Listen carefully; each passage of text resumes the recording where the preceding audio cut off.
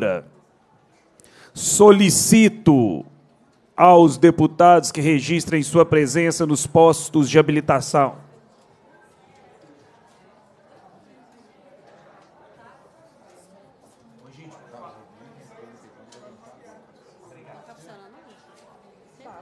Deu certo, obrigado. Esta reunião se destina a debater o plano de carreira dos agentes de controle de endemias e agentes comunitários de saúde de Belo Horizonte. Passa-se a primeira fase da terceira parte da reunião que compreende audiência pública.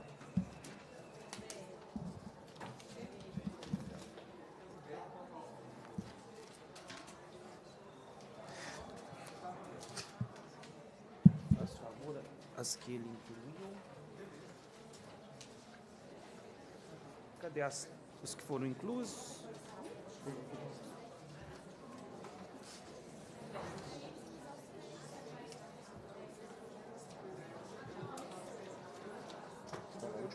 Obrigado. Muito obrigado. A presidência convida a tomar assento à mesa os seguintes convidados: Doutor Alexandre Tavares Costa, defensor público, coordenador da área civil de Belo Horizonte, representando doutora Cristiane Neves Procópio Malar, defensora pública geral do Estado de Minas Gerais.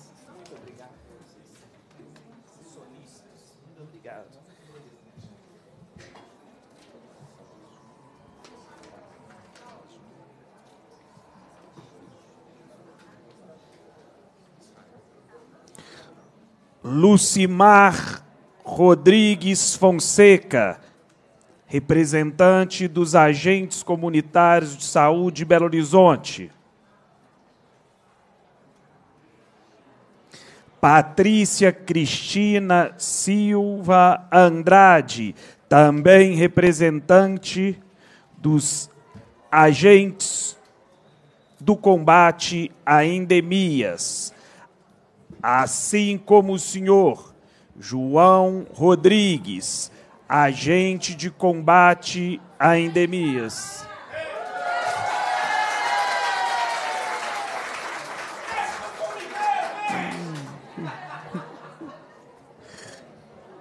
Nilo Sérgio, agente comunitário de saúde.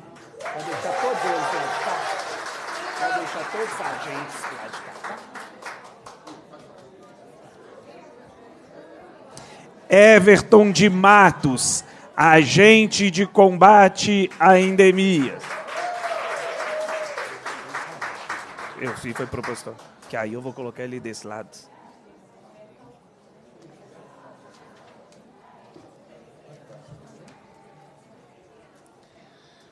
Senhor Israel Arimar de Moura, presidente do Sindicato dos Servidores Públicos Municipais de Belo Horizonte. Obrigado.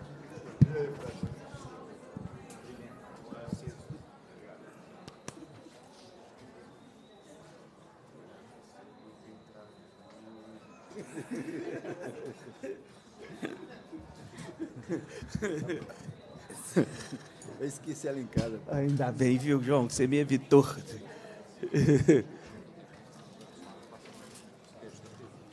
Quero registrar aqui para que se torne de conhecimento público, não só de vocês que estão presentes aqui pessoalmente, mas também aqueles que nos acompanham ao vivo pela TV Assembleia e aqueles que terão oportunamente acesso à ata. Foram convidados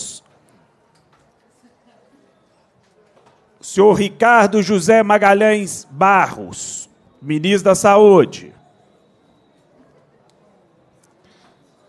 Doutor Gilmar de Assis, promotor de justiça e coordenador do Centro de Apoio Operacional das Promotorias de Justiça de Defesa da Saúde.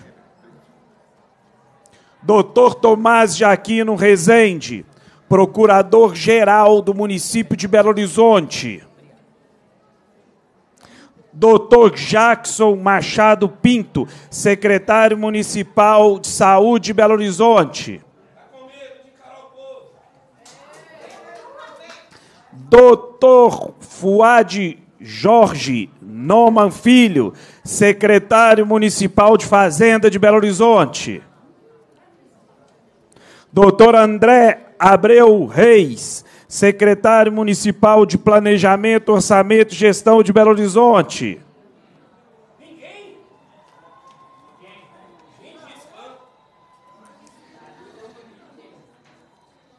Senhor Gleison Pereira de Souza, subsecretário de Gestão Previdenciária da Secretaria Municipal de Planejamento, Orçamento e Gestão de Belo Horizonte.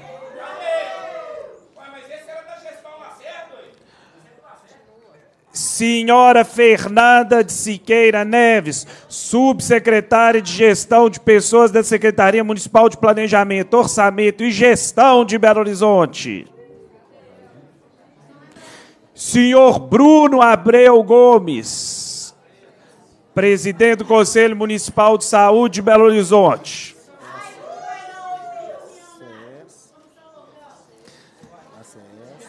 Algumas das pessoas que eu aqui citei estão presentes ou tem algum representante?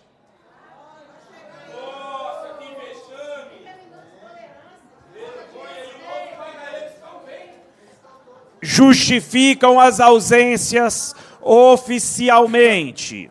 O Ministério da Saúde, em nome do ministro de Estado de Saúde, Ricardo Barros, vimos agradecer o convite para participar de audiência nessa comissão e informarmos que, por motivo de compromissos oficiais anteriormente agendados, não será possível sua participação. Não existe esse instrumento da convocação para ente federal ou municipal, já que nos encontramos na Assembleia Legislativa do Estado de Minas Gerais, só é prerrogativa nossa convocar a nível estadual. Agradeço o convite em questão. Informo que estou transmitindo essa oportunidade ao doutor Geraldo, subcoordenador dessa especializada na defesa do patrimônio público, uma vez que data e horário estarei participando de audiência designada pelo juiz da Sexta Vara da Fazenda Pública Estadual na ação civil pública número tal, tal, tal. Promotor de Justiça, doutor Júlio César Luciano. Por último, justifica a sua ausência responsável pelo Conselho Municipal de Saúde não poderá participar da audiência, visto que no mesmo horário haverá plenária ordinária do Conselho Municipal de Saúde e toda a sua diretoria. Portanto, esses três justificam. E já no meu preâmbulo, eu quero lamentar a falta de respeito e consideração da Prefeitura Municipal de Belo Horizonte em não mandar sequer um único representante para poder escutar e dialogar com a categoria na eleição recente, era impressionante a solicitude, o quanto estavam disponíveis para conversar com a categoria. E numa relação paradoxal, não transcorrido sequer 12 meses do exercício do mandato da prefeitura, numa enorme coincidência, prefiro acreditar eu, tendo pouquíssimos secretários, não é mesmo? Somente eu aqui citei mais de dez. Todos eles têm compromissos mais relevantes e importantes do que dialogar com os ACS e ACS. Quero aqui então fazer o meu registro de repúdio à falta de respeito. Nós podemos até, eventualmente, discordar, ou até mesmo, de forma clara e transparente, demonstrar que o pleito A, B, C ou D não é execuível para esse momento, mas jamais furtar ao debate, lembrando que o mandato é representativo político. Logo, todos os chefes de executivo e nós do legislativo, independente de ter tido o voto de qualquer um de vocês ou não, somos obrigados a exercer nossa função. E passa por esse instituto, necessariamente, o diálogo e a conversa. Então, pela terceira vez, e não por um acaso, ressalto a minha indigna indignação e também a um lamento com relação àquilo que eu considero uma falta de respeito para com o cidadão, porque vocês são ACS, são ACS, são logo servidores públicos, mas antes de qualquer coisa, são cidadão. E, como tal, deveriam estar sendo tratados como munícipes, como contribuintes, como pessoas que não só querem o melhor para Belo Horizonte, mas servem o povo de Belo Horizonte. E nesse mesmo sentido, o que a gente espera é que, respectivamente, prefeito e os seus liderados também sirvam ao povo de Belo Horizonte e servir passaria por estar aqui hoje. Espero eu que, embora não se façam presentes, possam pelo menos dignificar aquilo que foi comprometido a fazer durante o período eleitoral. Falo aqui a, e repito o que prego, não só com os meus assessores, com a minha equipe, mas por onde vou, inclusive fiz questão de dizer em assembleia que participei ao lado de vocês. Ninguém é obrigado a prometer, mas prometeu é obrigado a cumprir. E vocês não estão aqui pedindo nada mais do que seja direito adquirido. Nós temos que separar com muita cautela e muita clareza o que vocês estão pedindo que seja cumprido, que já é direito adquirido, e aquilo que é pleito pactuado para melhora. Porque aquilo que foi já previsto em lei para mim não tem que haver discussão. Nós já estamos falando de um atraso que é o não cumprimento por parte desse governo e do anterior. E para tal, eu inicio aqui verdadeiramente as nossas discussões e o debate, citando a importância singular e significativa da Defensoria Pública, que, aliás, diferente do que praticou o executivo municipal nessa audiência pública, eu quero aqui ressaltar que a Defensoria Pública sempre se faz presente nas audiências públicas aqui realizadas quando convidados. E são fundamentais nessa interface de diálogo entre o poder executivo legislativo e sociedade civil. Recentemente, salvo engano, uma coisa de aproximadamente dois anos, ficou pacificado que é facultado a eles também o direito de ingressar com ação civil pública, um instrumento fundamental para defender os direitos coletivos. Então, a participação da instituição que ele aqui representa é de fundamental importância nas discussões que iniciaremos agora na nossa audiência pública. Quero lembrar que no passado, em situação análoga, o prefeito Márcio Lacerda estava mutando ah, os artesãos da Feira de Arte e Artesanato da Avenida Afonso Pena. Naquela oportunidade, vários me procuraram promover uma audiência pública exatamente nesse local.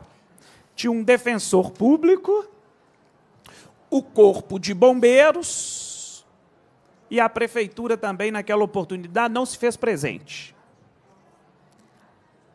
Acontece que a prefeitura justificava que essas multas eram emitidas através de um parecer do Corpo de Bombeiros pedindo para que não permitisse, em época de chuva, os expositores colocarem os toldos.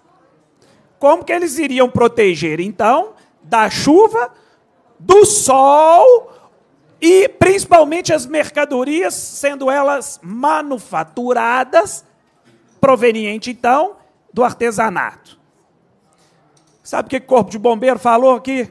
Através de sua chefia e seu comando? Jamais Corpo de Bombeiro mandou qualquer recomendação dessa ordem natureza para a Prefeitura de Belo Horizonte. Por que, que estou contando isso? Para demonstrar a importância desse instrumento e da Defensoria Pública. O que, que o Defensor Público fez na oportunidade? Convocou a Prefeitura de Belo Horizonte, através das três secretarias envolvidas, para uma reunião posterior à audiência pública aqui realizada, dentro então de dez dias. Estivemos todos reunidos então na mesa, na Defensoria Pública, e eles mostraram o documento. Ó, Corpo de Bombeiro falou isso daqui na audiência pública, mandou esse documento para o gabinete do deputado com cópia para nós, Logo, as multas que vocês estão emitindo são injustificáveis. Então, estou dando aqui um exemplo de vários trabalhos em conjunto com essa instituição de, que goza mais, do mais alto prestígio e reputação. Então, o, a nossa esperança é que a gente possa aqui dialogar para continuar os as negociações diretamente com a prefeitura, mas se fizer necessário que o, a Defensoria Pública também possa intervir. Nesse sentido, eu quero também reconhecer que recentemente, por obra da mobilização e da capacidade de vocês e dos seus liderados, houve um pequeno avanço, mas que nós temos que considerar. Aquele projeto protocolado na Câmara Municipal de Belo Horizonte não é o ideal, porque ele não prevê ali que o piso deve ser cumprido de forma clara e transparente. Embora eu, Fred, entenda que a legislação federal já impõe. E isso seria meramente um pleonasmo. Todavia, seria relevante, simbólico, essa previsão através das emendas, bem elaboradas por Lucimar, João e seus líderes. Porém, aquilo que está, nós temos que reconhecer que é uma melhora. Mas muito pequena e longe do que foi prometido. Porque o que foi prometido, o que foi prometido foi o plano de carreira, o piso, a mudança de regime, que aliás, em ordem, vamos começar. Mudança de regime, mudança de regime, mudança de regime, para isso. para então chegarmos nas outras discussões, que são piso, plano de carreira. E aí, doutor, já vou começar aqui apresentando um documento que, para mim, foi uma das maiores surpresas que tive nos últimos tempos. além dessas que citei, então nós temos primeiramente um descumprimento por parte da prefeitura no que tange ao piso. Por quê? É repassado através do Ministério da Saúde o valor para o caixa único da prefeitura. E aqui nós temos uma tabela que demonstra que a CS e a CE na cidade de Belo Horizonte atualmente ganham menos que o salário mínimo. É algo completamente inusitado e ilegal. E como que eles fazem? Além de não pagar, cadê aqui aquela tabela? O salário mínimo, eles escamoteiam em forma de benefício para chegar no valor. E aqui eu vou demonstrar as tabelas. Além disso, chegou aqui para mim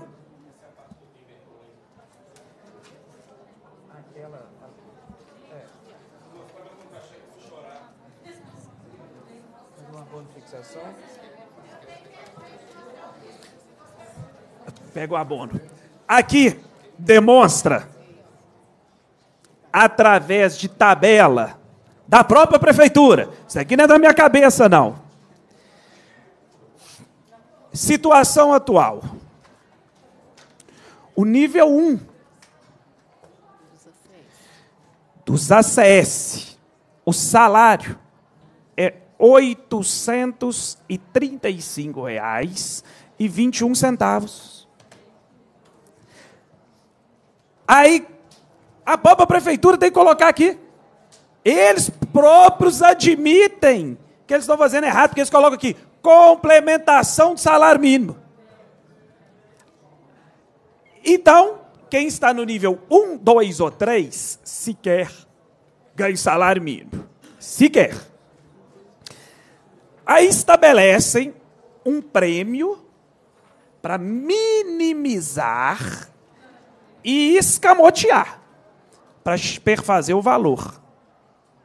Então aqui já está claramente um descumprimento do piso da categoria, que é uma definição federal, e além de tudo, eu desconheço servidor que receba menos de um salário mínimo. E aqui nós estamos nós estamos de frente de um número bastante significativo, mas que representa um exército que trabalha na saúde, no sol, na chuva, no dia a dia na cidade de Belo Horizonte.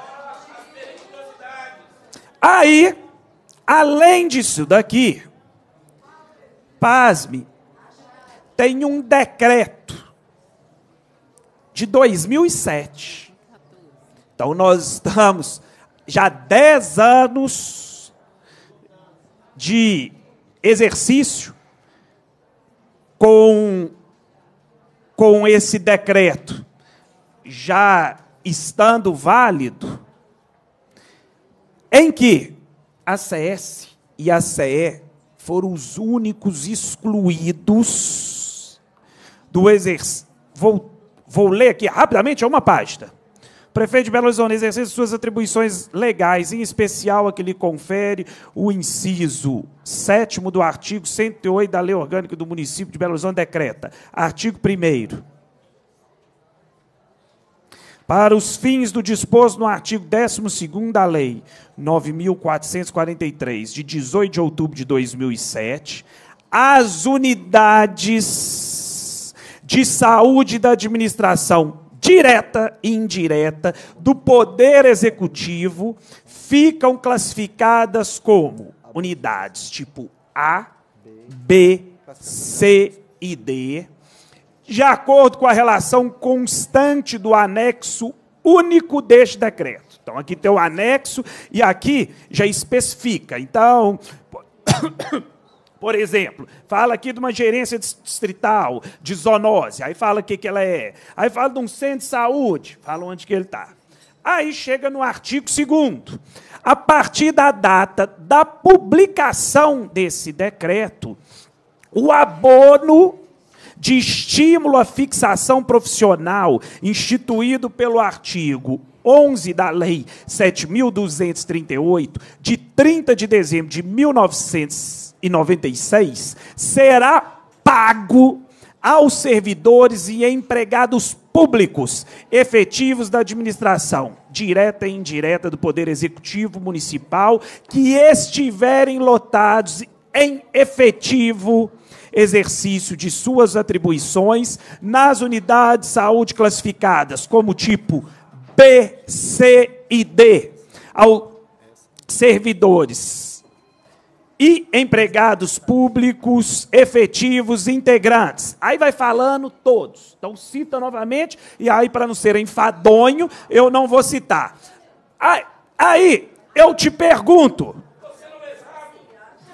alguém aqui recebe esse abono?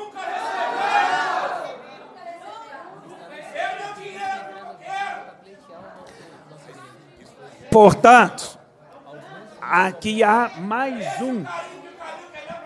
E isso é mais um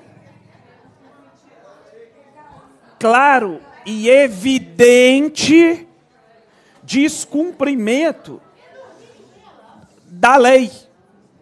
Tem o decreto, é previsto todos os envolvidos com a questão da saúde pública e eles são os únicos excluídos que não recebem.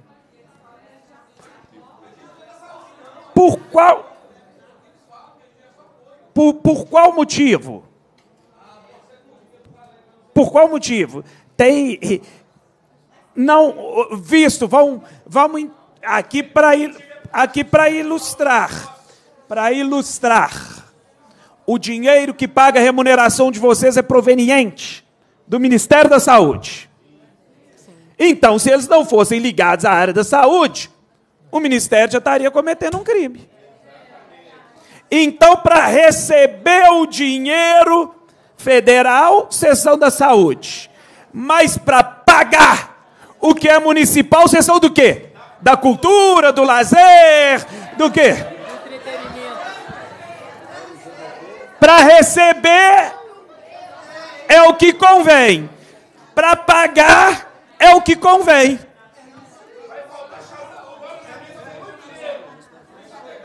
Então, é, doutor, precisamos muito da sua ajuda, principalmente no que tange as questões que estão sendo descumpridas a partir de atos que nós consideramos ilegais. E por que que fiz aqui então a diferenciação?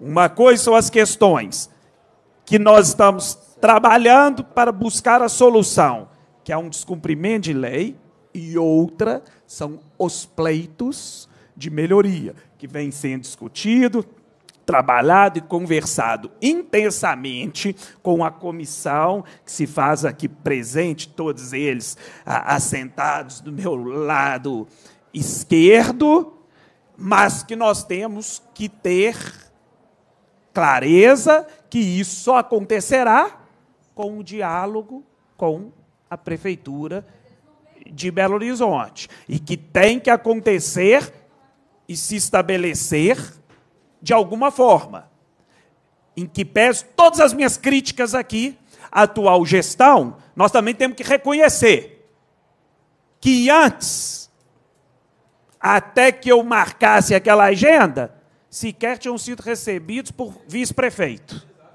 Sequer tinham sido recebidos por prefeito.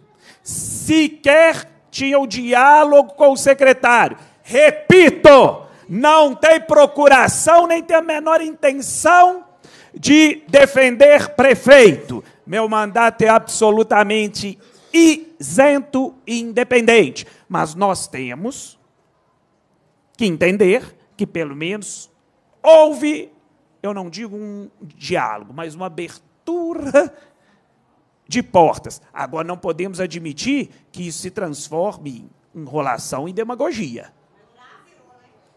Não podemos admitir que isso se torne uma promessa falaciana.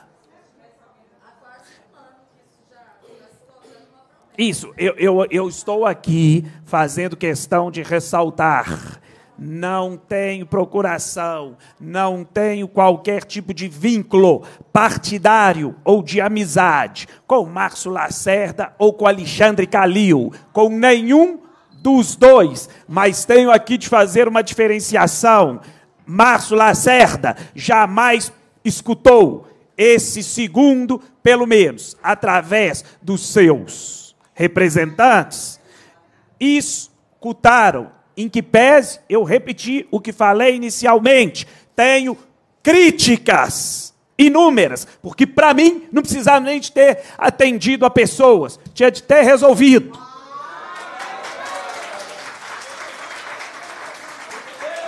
Tinha de já ter resolvido, não deveria nem existir o problema. Mas não sou eu o prefeito, tampouco nenhum de vocês. E não sendo, não nos resta outra forma de buscar as alternativas para o cumprimento. E antes que suscite também qualquer dúvida, tem a menor pretensão de ser prefeito, não, viu? Estou fazendo campanha aqui para prefeito, nem sou candidato a prefeito, nem quero ser candidato a prefeito nesse momento. Então, o que eu estou falando é dentro do exercício das minhas funções legislativas. E nesse sentido, até para que possa apresentar para o senhor, eu vou passar a palavra para os representantes, na esperança de que a partir dessa audiência pública nós possamos avançar mais para poder ter aquilo que já passou do tempo, que é o cumprimento da lei e das garantias para vocês profissionais, que eu repito, que são de uma importância, de uma relevância transcendental e, e lamentavelmente, não, não reconhecido pelo Poder Executivo. Porque se vocês pararem, como que acontece? O que, que vai acontecer? O dinheiro não é o problema. É a saúde. Não tem dinheiro que pague a saúde. Então, para aquele, para aquele, se assim o fez, que falou que vocês não são parte da estrutura da saúde, parem para ver se vocês não são. Então não estou aqui incitando a fazer qualquer coisa, mas afirmando que vocês são sim parte fundamental, parte integral e tem que ser reconhecido e valorizado como servidor e como servidor da área de saúde. Com a palavra com a palavra a Lucimar. É, boa tarde. Quero, quero saudar a mesa aqui na presença do deputado, do promotor e do presidente do sindicato nosso, Israel. Davidson, defensor, desculpa, defensor público. E quero saudar vocês também, né, categoria cansada, mas graças a Deus maravilhosa, presente hoje. Obrigada, gente, pela participação de todos. Pois então, defensor, vamos começar aqui a nossa resenha, né? Gente, o que, que acontece? É, queria eu que a prefeitura estivesse presente, porque Muitas das vezes as nossas reuniões são tão rápidas que a gente não consegue falar tudo aquilo que a gente quer expor para a prefeitura e a realidade como ela é realmente, né? Então, de antemão, vou começar aqui falando da questão do piso. O que, que acontece? Recentemente foi mandado o projeto para a Câmara, né?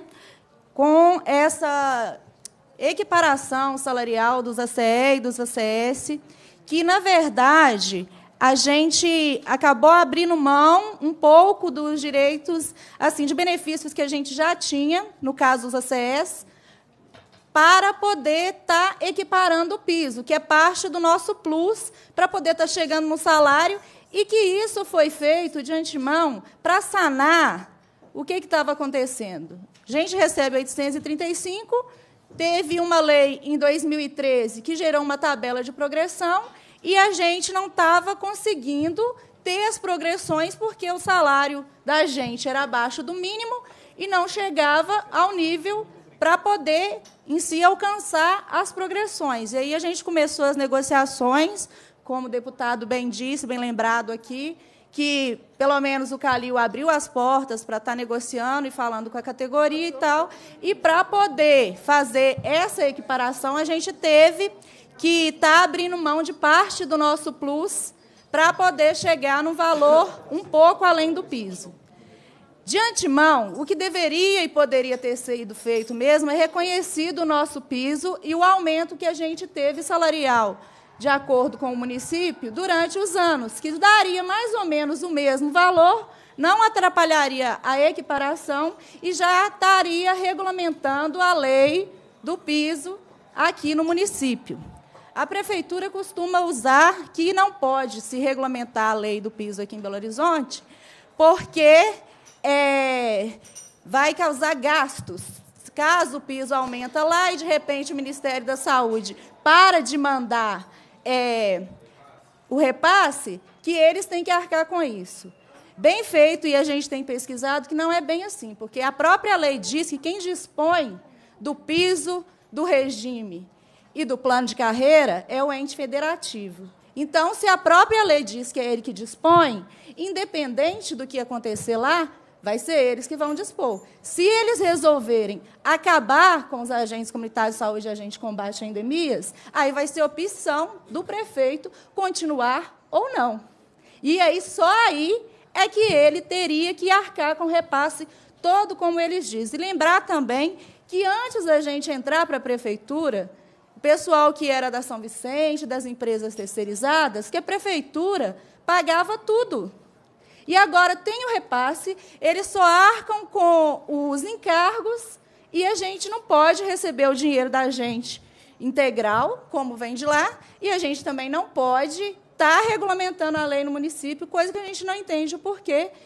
E lembrar por que a gente briga por esse texto na lei, porque se lá em Brasília tiver o aumento lá, está tendo uma PEC, se tiver o aumento, reajuste salarial em Brasília, e aqui em Belo Horizonte, mais uma vez, não tiver disposto em lei, o prefeito vai usar a mesma desculpa, que não paga o piso porque não está regulamentado no município. E aí, se lá aumentar e aqui não regulamentar, daqui a pouco a gente está recebendo menos que um salário mínimo novamente. Então, resolve-se um problema momentâneo, na minha opinião, é para poder dizer assim: eu cumpri com a minha promessa, mas, na verdade, não vai estar cumprindo, só está adiando o problema. Esse é o primeiro ponto na questão do piso. Mas a pauta principal da categoria há anos é a questão da mudança de regime, né, gente? Bom, a gente vinha de antemão muito tempo achando que isso era opção do governo. Recentemente, nós estamos avançando nas nossas pesquisas também, e eu não sei, aí eu gostaria depois, se puder, estar conversando com o defensor e analisando direitinho, mas nós estamos chegando na conclusão do seguinte: a Lei 11.350 ela fala que para a CE e a CS tem que ser seleção pública, independente do regime. Ou seja, não teríamos nós que passar por concurso público para ser estatutários. Nós, com a nossa seleção pública, estamos válidos para ser estatutários. E, principalmente, também tem um mito muito grande com as ACS que eram da São Vicente de Paula. Ah, que vai ser mandado embora. Ah, que cai na Lei 100. Não cai. São protegidas pela emenda 51, sim. Tem portaria da prefeitura publicada no DOM 5 ao nome de todas vocês. Então, ninguém vai ser mandado embora se tiver que mudar de regime. E continuando, falando do, do avanço das nossas pesquisas, como é seleção pública para qualquer um dos dois regimes, e lá no artigo fala que tem que ser estatutário se caso o município, a lei local, a lei orgânica, dispuser ao contrário do regime CLT, se for regime jurídico único, a gente está começando a entender que, se a gente é seleção pública para qualquer um dos dois regimes, e se Belo Horizonte tem um regime jurídico único, A gente tinha a obrigação de ser estatutário, não é a opção, a gente tinha que ser estatutário mesmo. Então, esse é isso que eu assim, mas eu ainda preciso de uma análise técnica e não quero da PGM, não, que é lógico que a PGM vai ir para o lado da prefeitura. Eu quero da Defensoria Pública, do Ministério Público, para poder nos ajudar com o parecer, para encaminhar para a prefeitura e dizer para eles que não é questão de opção, que foi uma coisa equívoca da prefeitura ter feito isso no passado, nos colocar como seletistas, sendo que o regime do município é estatutário. E e vários municípios já mudaram o regime das categorias, fizeram a transmutação, e o pessoal está lá feliz, indo para as casas fazer a visita deles, estatutários. E a gente, e eu queria lembrar isso agora na linguagem popular mesmo, lembrar o prefeito agora na linguagem popular. Nós somos agentes de saúde. Mas nós não somos só agentes de saúde, não. Nós somos agentes políticos. Nós estamos na casa do munícipe todos os dias. Todos os dias. Nós somos. Nós somos 3 mil, mais de 3.400 pessoas. Nossa categoria tem uma força imensa a nível nacional. Nós somos só mais um pedaço do formigueiro. E se a gente, e isso agora eu vou falar para cada um de nós que estamos aqui, se a gente colocar nas nossas cabecinhas que nós somos agentes políticos, nenhum prefeito, nenhum deputado, nenhum vereador que fizer descaso com as nossas pessoas, sobe num palanque novamente. Então eles têm que lembrar disso. E eles têm que respeitar isso. Ah, e, para terminar, é, quero falar que nós ainda estamos na negociação do plano de carreira da prefeitura, que eles já vieram com uma com um esboço, umas tabelazinhas lá muito parecidas com aquele PCC do plano de carreira do Márcio Lacerda, que eu não sei se vocês lembram, que nós derrubamos eles sem precisar ir para a rua, só no Facebook.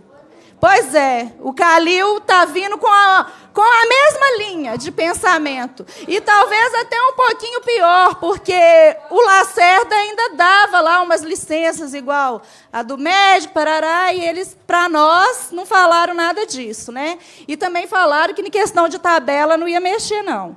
Aí eu pergunto: plano de carreira. Plano de carreira é uma coisa a longo prazo, uma coisa vai pensar para a vida inteira. Aí não vai mexer em tabela? Vai ser aquilo ali?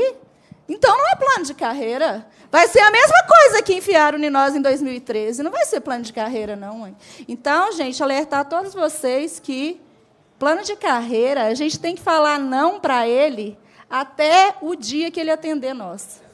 Porque se não atender, a gente não pode falar assim, não, porque é nosso futuro.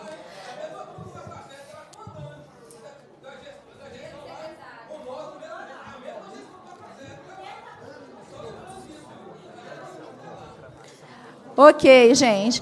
Aí eu vou encerrar minha fala por aqui, porque eu também quero que os meus colegas falem. E nós também temos que abrir a fala para vocês, para ficar tudo bem registrado. Lembrar que a Assembleia está sendo gravada ao vivo, que a gente pode replicar isso nas redes sociais depois. E lembrar que a gente tem que chamar os nossos colegas para a luta, porque Calil não está muito diferente de Márcio Lacerda, não. Obrigada, boa tarde.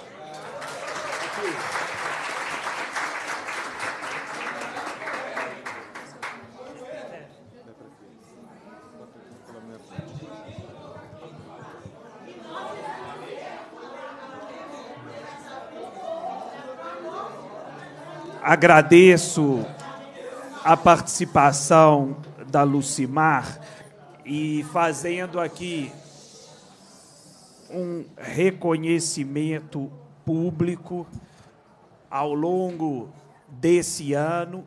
Foram dezenas de vezes que estive em reunião com Lucimar, João, Patrícia e, eventualmente, vindo outros representantes. Então, quero aqui reconhecer o esforço dos três e de outros que, embora não dê para eu nominar nesse momento, mas estiveram reunidos conosco, aqui no gabinete, várias vezes e também na prefeitura. Parabenizá-los e esperamos todos nós que todo esse esforço não seja em vão. E não vai ser.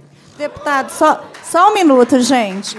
Ô, gente, eu também gostaria de agradecer ao deputado Fred Costa, que nos recebeu. Lembrar que nós procuramos vários deputados, vários alegaram apoio à causa, mas desde quando nós procuramos tudo que a gente precisa, igual a articulação com a reunião com o governo, a primeira ele nos ajudou. Assim, foi excepcional a colaboração dele. Se não fosse ele, eu não sei nem se a gente tinha conseguido. E dizer que encontrei com ele em Brasília, também me acompanhou lá na movimentação da categoria. Então, dizer assim que, estritamente, eu quero agradecer também ao senhor deputado por ter nos ajudado obrigado, até aqui. Muito obrigado, Lucimar. Com a palavra, João Rodrigues.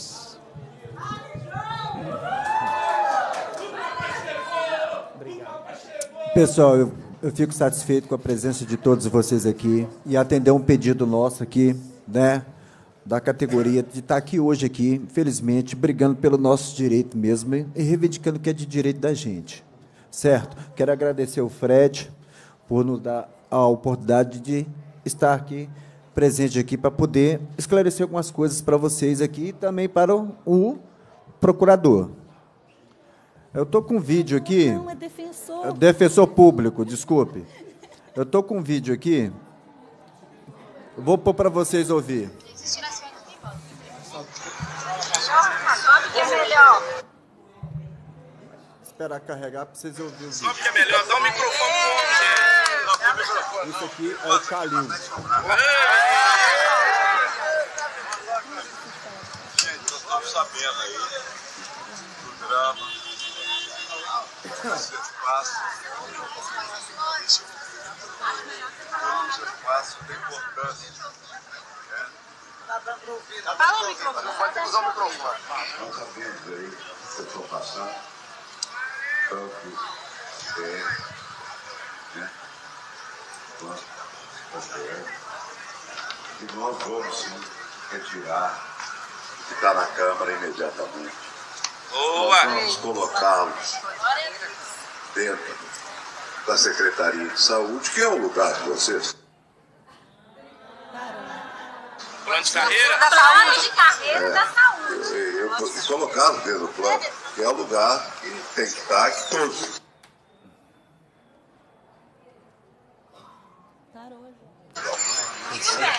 Não tem tem que esperar um pouquinho que está carregando, porque a internet aqui da Assembleia. É. não tem. Isso.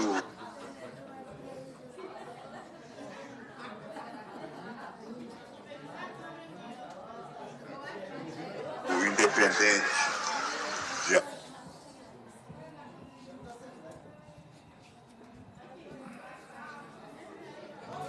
Apoio ou não nós temos que fazer o que é certo.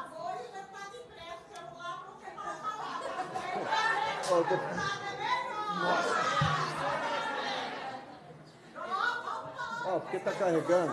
Vou passar o celular para ele, ele vai ouvir. Vou resumir. Bom, bom pessoal. Eu vou resumir para você, é, defensor público. O Calil quando estava em campanha, nos procurou lá no, no comitê, lá. Pediu para a gente procurar ele no comitê. A gente foi lá no comitê, procurou ele e fizemos acordos de atender às pautas específicas nossas da categoria, que são duas elas.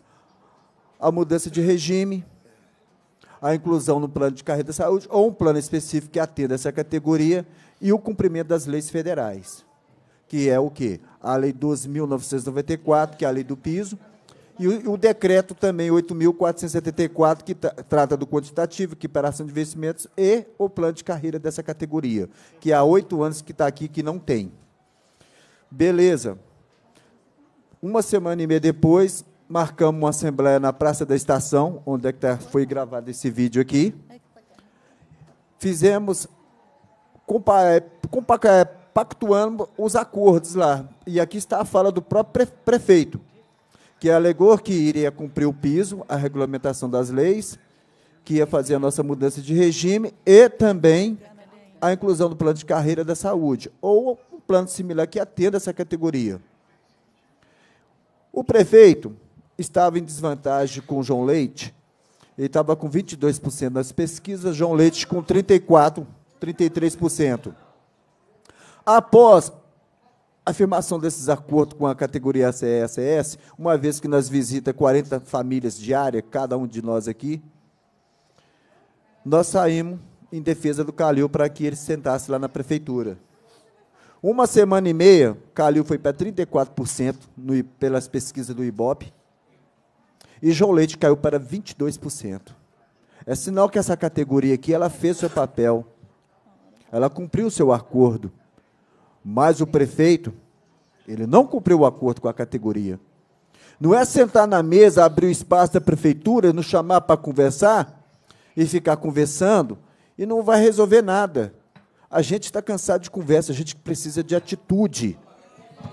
A gente precisa de cumprimento de, das promessas, palavra de campanha, o que ele não fez. Por você ter ideia, após isso, a gente está vendo se desgastando aí nessas comissões, tentando negociar uma, uma melhor situação para os agentes, e não está conseguindo. Aí fica difícil. O Calil fez um, mandou um projeto de reajuste para o servidor. O que, que ele fez? colocou no nível 1 ACE e ACS R$ 1.098. É como se diz, eu estou pagando piso. Tudo bem, defensor público, ele está pagando piso. Mas, não, mas ele não está cumprindo a regulamentação da lei 12.994. Justamente depois que o projeto for aprovado, mas não está regulamentando a lei federal. É como se diz, Estou pagando, mas não estou regulamentando. Porque a gente tem uma PEC em Brasília. O que, é que vai acontecer? Se lá for aprovado, um exemplo que eu vou dar para vocês aqui, R$ 1.600, o prefeito se sente desobrigado de cumprir. Ele vai pagar o quê? Os R$ 1.098 de acordo que está lá na, na tabela. Só o que, que vai acontecer? Ele vai dar um calote em cada um ACR e ACS aproximadamente de 500 reais. De 500 reais cada um, ACE e ACS. Um prejuízo enorme. Por quê? Ele não está cumprindo a regulamentação das leis federais. E o que a gente quer é simplesmente a regulamentação das leis federais. Então, nós montamos um grupo aqui de trabalhadores guerreiros, grande parte está aqui, defensor, e a outra parte está aqui na mesa nós construímos uma emenda. Uma emenda onde até o próprio sindicato foi contrário, porque ele alegava que tinha visto de origem. Não, essa emenda não tem visto de origem, defensor público. Por quê? Porque ela não tem que apontar custo nenhum, porque a verba que paga o salário do ACE e do ACS vem pela atenção básica e vem pelo bloco de, da atenção e vigilância saúde, que é o caso dos agentes de combate a endemias é o repasse do financiamento. Então, não tem problema nenhum pagar o piso regulamentando a lei, uma vez que ele já está mandando um projeto de reajuste para a Câmara com salário de R$ 1.098 da CE.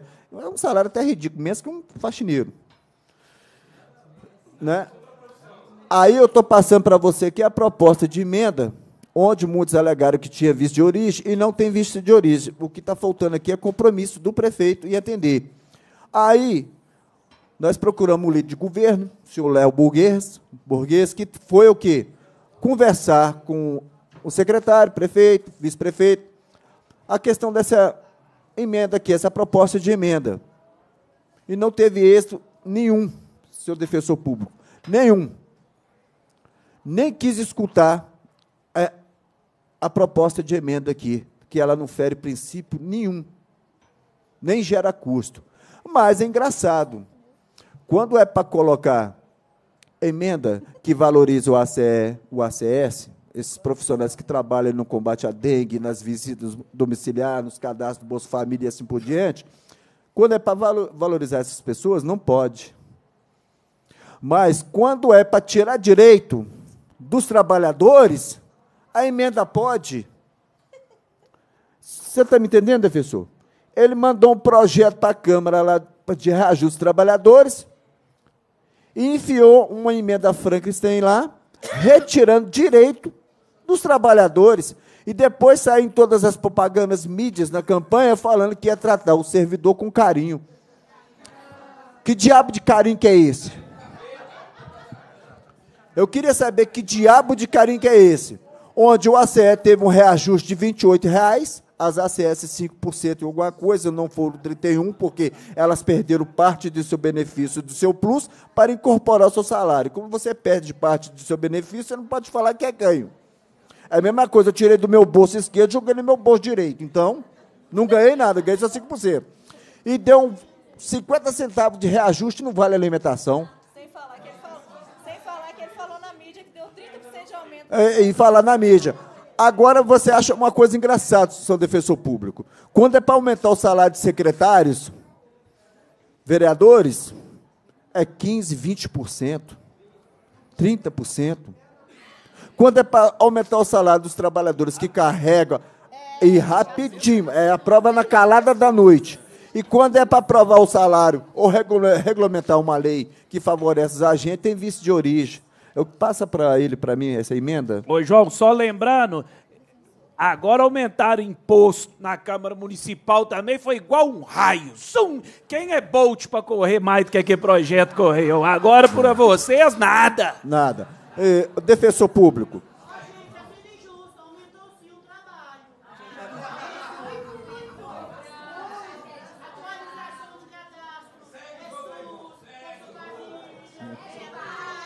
Defensor, é, é, eu queria só esclarecer o defensor público Alexandre, é o seguinte, que eu queria que você anotasse bem direitinho aí, como é que são feitas as coisas aqui, aqui em Belo Horizonte.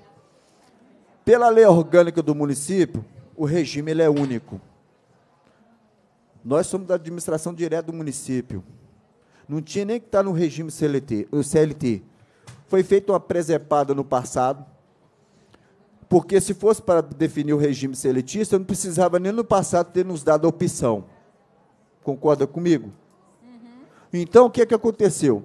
Iludiram a categoria com o FGTS, Fundo de Garantia, e falaram que o regime de servidores não tinha benefício nenhum, que o trabalhador saía com a mão na frente e outra atrás. Foram iludidos, enganados, e hoje estão aqui nesse regime aqui, escravagista. Se você olhar pela Lei 11.350, no seu artigo no seu artigo. Cadê?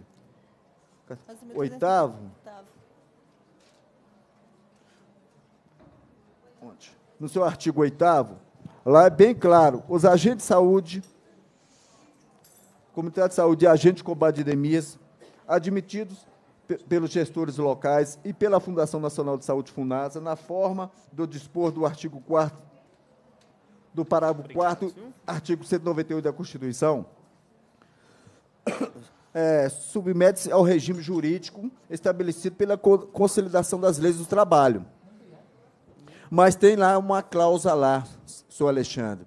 Salvo onde, é, salvo se, se no Estado ou no Distrito Federal e no município, lei local dispuser de forma diversa, que é aqui o regime jurídico, a lei orgânica do município. Então, o que eu quero dizer aqui, o ACE, aqui já existia o regime jurídico. O agente sanitário, ele executa as mesmas funções e atividades dos agentes de combate a endemias. Então, aqui não caberia o regime CLT. Mas foi feita uma presepada no passado, onde que iludiram essa categoria e jogaram esse regime escravagista. Nós tivemos uma reunião no sindicato, a comissão, que está negociando com o prefeito, o próprio presidente do sindicato aqui pode falar, pode comunicar. A prefeitura sinalizou fazer a mudança de regime, senhor Alexandre. Mas da seguinte forma: O problema são as 1.800 ACS que entrou parado pela lei, pela emenda 51. Se caso fizesse a mudança do regime daqueles que fizeram o concurso, provavelmente essas meninas que vieram da Associação São Vicente de Paula vão perder o emprego. Aí fica jogando uma categoria contra a outra. Você está me entendendo? Fazendo contrapeso, naquela né? queda de braço. Só que mal sabe elas que elas estão aparadas pela emenda 51 no seu parágrafo único. Essa emenda, justamente reconhecida pela própria prefeitura, pela portaria 4.679, que publicada no seu diário oficial e também está na redação da lei 9490 que rege a categoria. E ela está presente também na lei 11.350. Aí como é que eu vou mandar essas meninas embora? É falta de vontade política, é falta de compromisso. Respeito. Mas uma coisa me, me estranha. Fora um insulto à inteligência, né? Achar uma coisa me estranha. A prefeitura, ano passado, gastou 90 mil a 100 mil reais com estudo da UFMG, uma faculdade de renome, para fazer um estudo do impacto de absorver esses trabalhadores no regime jurídico e seu plano de carreira. Quando nós estávamos na comissão, a, secretária Fernanda alegou que não conhecia o estudo. Não sabia que estudo é esse. E eu não indaguei ela. Uai, você está dentro da prefeitura como secretária, não sabe qual estudo que é? Uma, um estudo que a prefeitura desembolsou 100 mil reais do bolso do, do contribuinte? Eu acho que a prefeitura tem que ser processada por danos morais por gastar dinheiro alheio do, traba do trabalhador, do povo, e jogar o estudo na lixeira. Aí, beleza. O que eu quero deixar bem claro é o seguinte. Eu fico vendo a, pasmo, a pasmosidade do Ministério Público aqui em Belo Horizonte. Isso eu falo não com todos os procuradores. Senhor Alexandre, não tome isso para você. Mas uma coisa eu vou falar: a pasmosidade dos procuradores aqui do nosso município. Eu, isso me irrita. Vocês são defensores da justiça, da lei, do cumprimento das leis. Vocês, em vez de atuar a prefeitura, vocês ficam mandando recomendações. Vamos parar com isso, gente. Vamos trabalhar direito. Vamos entrar com processo administrativo nessa prefeitura. Nós estamos vendo em vários estados, vários municípios, os ministérios públicos trabalhando, atuando, encostando o prefeito na parede, fazendo que ele cumpra as leis, que ele siga a legislação. E o nosso Ministério Público calado, silenciado. Por quê? Isso é uma pergunta que eu quero fazer para você, como defensor público, me responder por que, que o Ministério Público são calados, silenciados. Isso vale também para os peritos do Ministério do Trabalho, que quando vai fazer perícia, já chega lá dando pau no caboclo, nem escutou o caboclo, tuf. Parece que está ganhando algum por fora. Parece que está tá levando algum por fora, tem algum acordo com a prefeitura. Eu fico indignado. A gente leva, arrasta anos levando processo contra a prefeitura. Anos. A prefeitura, com um simples toque de caneta, o processo deles anda com rapidez a votação de processo deles anda com rapidez. Então, o que eu quero de você é o seguinte, do defensor público, é que faça uma conversa com seus pares na Defensoria Pública, no Ministério Público, e cobre deles uma posição. Porque lei é para se cumprir. Se não cumpre, é processo administrativo no prefeito. E sem essa de recomendação. O que nós queremos aqui é simplesmente o cumprimento das leis, a regulamentação, a mudança de regime e o plano de carreira. Obrigado.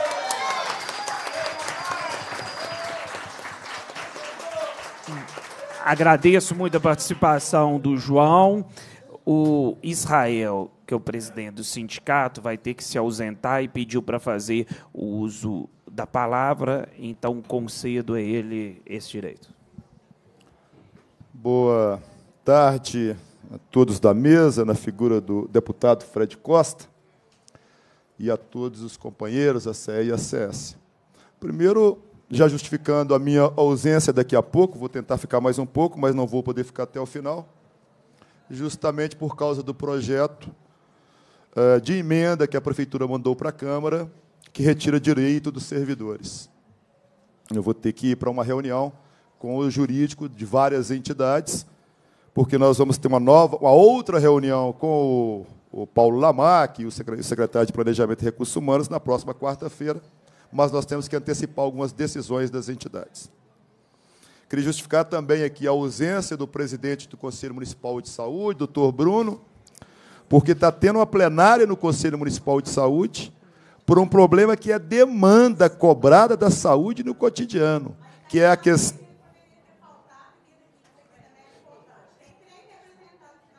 É, que é que é que é que é a questão da segurança e do descumprimento de uma decisão da Conferência Municipal de Saúde, que seria o retorno dos porteiros para as unidades de saúde.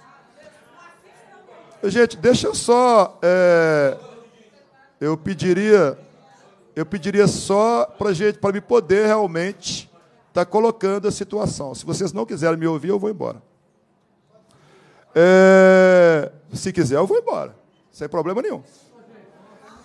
É, a promotora, doutora Roseli, depois de muita cobrança, foi acionada e hoje vai estar nessa conferência no Conselho. Doutor Bruno é um médico, é diretor do Sindibel, é um companheiro de luta, e eu acho que, como todo companheiro trabalhador de luta, deve ser respeitado. Se alguém teve algum problema no Conselho Municipal de Saúde, pessoal com o doutor Bruno, resolva o problema, mas respeite o companheiro. Bom, sobre a discussão aqui, é... e eu falo com muita tranquilidade: eu não sou candidato a vereador, eu não sou candidato a deputado, eu não sou candidato a ocupar cargo de gerência na prefeitura, eu sempre coloco com muita clareza, eu não tenho rabo preso. A minha posição é de chegar em casa e poder deitar minha cabeça e dormir tranquilo. É de quando terminar consigo e quando terminar o meu mandato na presidência do sindicato, eu ter a consciência que foi feito o melhor. A luta do ACE e do ACS não começou ontem. Essa luta tem muito tempo. Essa luta com cada um, não só os 100 que estão aqui, mas para além dos 100 aqui nessa categoria que tem 4 mil trabalhadores, muitos participaram, muitos nem estão mais no cargo. E eu sou uma pessoa que eu sei reconhecer o esforço das pessoas. Eu tenho consciência da luta de cada um. Então, pessoal, essa luta não começou ontem. Começou lá na São Vicente. E essa luta veio passo a passo. E toda a luta do trabalhador, a menor vitória tem que ser valorizada. Aquilo lá em 2013, as tabelas, que não era plano de carreira, e o Cristian falava, e João, e a gente falava, e não era. Mas aquilo lá foi graças àquelas tabelas que, três anos agora, já começa um processo, já com avaliação de desempenho, assim que aprovar a lei, e com a, avalia... com a progressão para escolaridade, que dá reajuste, que dá vantagem. Então a nossa luta já é de um degrau a mais. Então a gente tem que saber reconhecer os pequenos avanços que a categoria consegue, porque não é de graça. Pois bem, o Sindibel, sindicato que representa os servidores públicos municipais de Belo Horizonte, que representa a saúde, e o ACE e o ACS é da saúde, não é uma categoria separada. Ele tem na sua base 40 mil trabalhadores. Desses 40 mil trabalhadores, 4 mil são ACE e ACS, dentro dessa base da saúde. E a gente acompanha todos. E a gente tenta defender todos, porque problema tem em todos os setores. O ACE e o ACS, a partir da promulgação da lei, no caso do ACS, a maioria aí, o PIS é mil, passa o vencimento 1097, Mas a maioria, com os saltos de escolaridade, já vão lá para 1.200, 1.200 alguma coisa. Isso, isso é luta de cada um. Não tem pai nem mãe de criança nessa história. É a luta de todos. Agora nós temos deputado, outros servidores na prefeitura, porque a luta do sindicato não acaba aqui, mesmo quando conseguir resolver tudo se conseguir. Nós temos lá o Gari da SLU, que o plano de carreira é de 97, e o vencimento inicial, podem conferir na lei. O vencimento inicial de um Gari da SLU está 680 reais. A situação do Gari, ele não recebe é, menos que o salário mínimo na mesma situação do ACS. Eles têm 20, 30, tem 30, 30, alguns têm 20, 28, 30 anos que está aí trabalhando na SLU. E nós estamos na luta para fazer a revisão do plano de carreira deles também, que está programado para dezembro. Então a situação da prefeitura não é uma situação fácil. É... Tem algumas questões que a gente tem que estar tá colocando aqui. Primeiro, a questão da, da mudança de regime. Foi muito cobrado aqui a defensoria, só lembrando a todos que o sindicato, através da federação, já acionou a justiça. Nós entramos na justiça com todas a, todos os argumentos colocados aqui e outros. Nós entramos na justiça pedindo um, um ADIM, uma ação direta de inconstitucionalidade. E o Tribunal de Justiça aqui em Minas deu negativo para nós. E nós tivemos que recorrer à instância em Brasília. E está em andamento. Não tem uma, uma, uma definição. Da mesma forma, a questão do piso. O sindicato já fez o seu papel do ponto de vista jurídico. Nós entramos com ação na justiça, que também já está em Brasília, em terceira instância, cobrando não pagamento desse piso retroativo a 2014. Ainda que o atual prefeito, o Calil, passe a cumprir o piso de 2014 a partir de agora, a partir de 1 de agosto, porque a lei que está na Câmara é retroativa a 1 de agosto, ainda que ele passe a cumprir, tem um passivo retroativo até o ano de 2014, que o sindicato já fez o seu papel, que foi acionar a justiça. E aí, para os companheiros aqui e para quem está na mesa. Quais são os papéis do sindicato, as ferramentas do sindicato? Só tem três.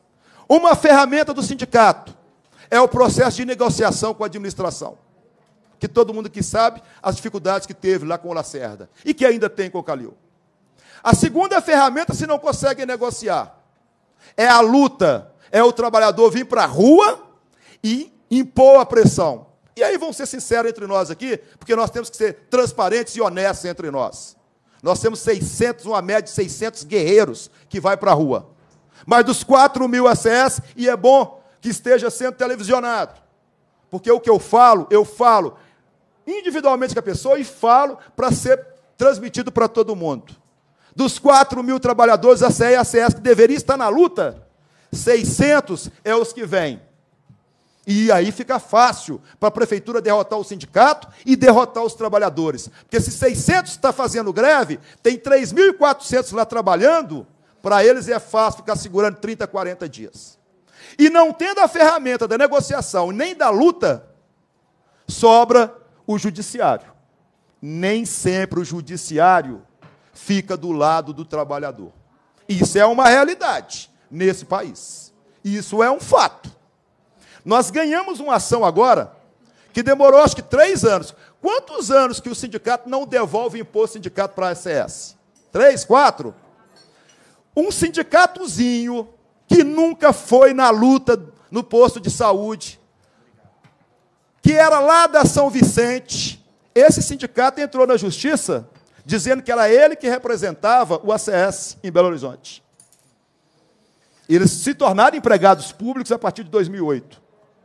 Nós, o Sindibel, que sempre está lá junto da categoria, fomos na justiça e falamos, não, quem representa é o Sindibel. Os processos que entram para eles é o Sindibel. É nós que socorremos a categoria e estamos juntos.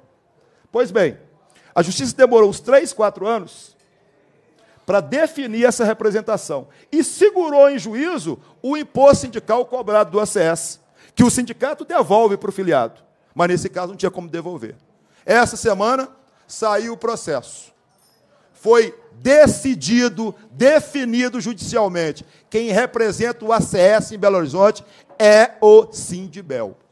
Então, uma, uma etapa vencida, Estamos esperando agora as partes lá que têm que fazer os acertos burocráticos para vir o depósito do imposto sindical, para a gente poder chamar o ACS e poder fazer a, a devolução. Mas demorou quase quatro anos para ter uma definição sobre isso. Só uma questão de Né? ordem, Israel. Então, foi definido que vocês representam a legi- a legitimidade do ACE e do ACS. Sim. Então, com relação ao piso, nós vencemos ou ainda está em julgamento? Esse processo, ele não é do piso. Esse processo foi um processo do, daquele sindicato lá, que eu não vou citar o nome aqui, que entrou dizendo que eles é que representavam e que eh, o imposto sindical, eles que teriam que receber aquela coisa toda. É, mas- E eles entrar, tentaram, inclusive, atrapalhar o processo do piso, porque eles alegaram que nós não representávamos vocês, então que era eles que tinham que entrar com o processo. Não atrapalha, mas também não, é, é a parte. O do piso está em Brasília. O que eles entraram foi aqui em Minas Gerais, ok, João? Bom, mas para concluir, que eu estou falando muito também, a comissão que participa Lucimar, Patrícia, eh, Andresa, Ronaldo, e foi agregado agora o João e outros companheiros aqui, não vou citar o nome de todo mundo. Essa comissão, ela elaborou uma proposta dos trabalhadores de plano de carreira, que é essa que está aqui. Na última reunião que nós tivemos no Recursos Humanos, é, não, tive, não houve negociação, só foi o início. Passaram para nós lá algumas, alguma, alguns tópicos que não respondem à categoria. Né? E aí nós ficamos, então, de apresentar essa proposta. Mas, para apresentar essa proposta, precisa definição do regime. A definição do regime foi colocado para nós, que será marcada uma reunião com o Calil para a próxima semana e que a comissão de negociação vai sentar diretamente com ele e é ele que vai passar o posicionamento final do governo. Pois bem, na proposta é, que a comissão fez, em linhas gerais, isso que são apenas ah, os tópicos, o que está lá? Mudança de regime jurídico de estatutário, de, de seletismo para estatutário de todas as CE e ACS. Inclusão é, no plano de carreira da saúde, que foi aprovado em Assembleia. Vencimento, é, garantia do vencimento inicial é, do cargo ou emprego é, no valor do piso, é, acima do piso ou, no, no mínimo, no valor do piso que tiver vigente.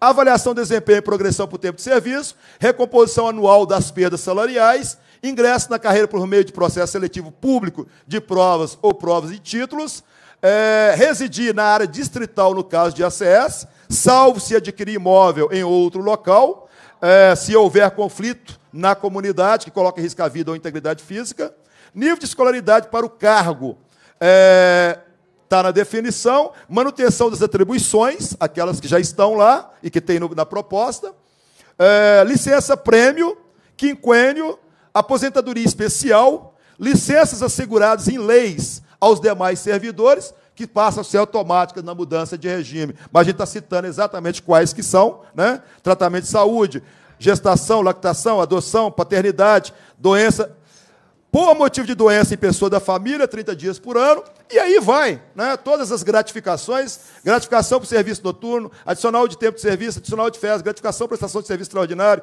gratificação pelo exercício de atividades insalubres, perigosas ou penosas, gratificação pelo exercício do cargo em comissão de função gratificada, todas, todas as gratificações. Só uma questão Então, de ordem, Israel. é- É, é importante falar que esse plano, ele regulamenta todas as leis federais que regem a categoria. Então, essa é a proposta que vai ser encaminhada, então, lá para o governo, diretamente lá para o Calil, para começar o processo, então, de negociação eh, do plano de carreira da saúde. Agora, tem um ponto aqui, e aí eu quero passar para o deputado aqui, e passar também aqui para o defensor. Defensor público. Eu vou ser muito sincero com vocês.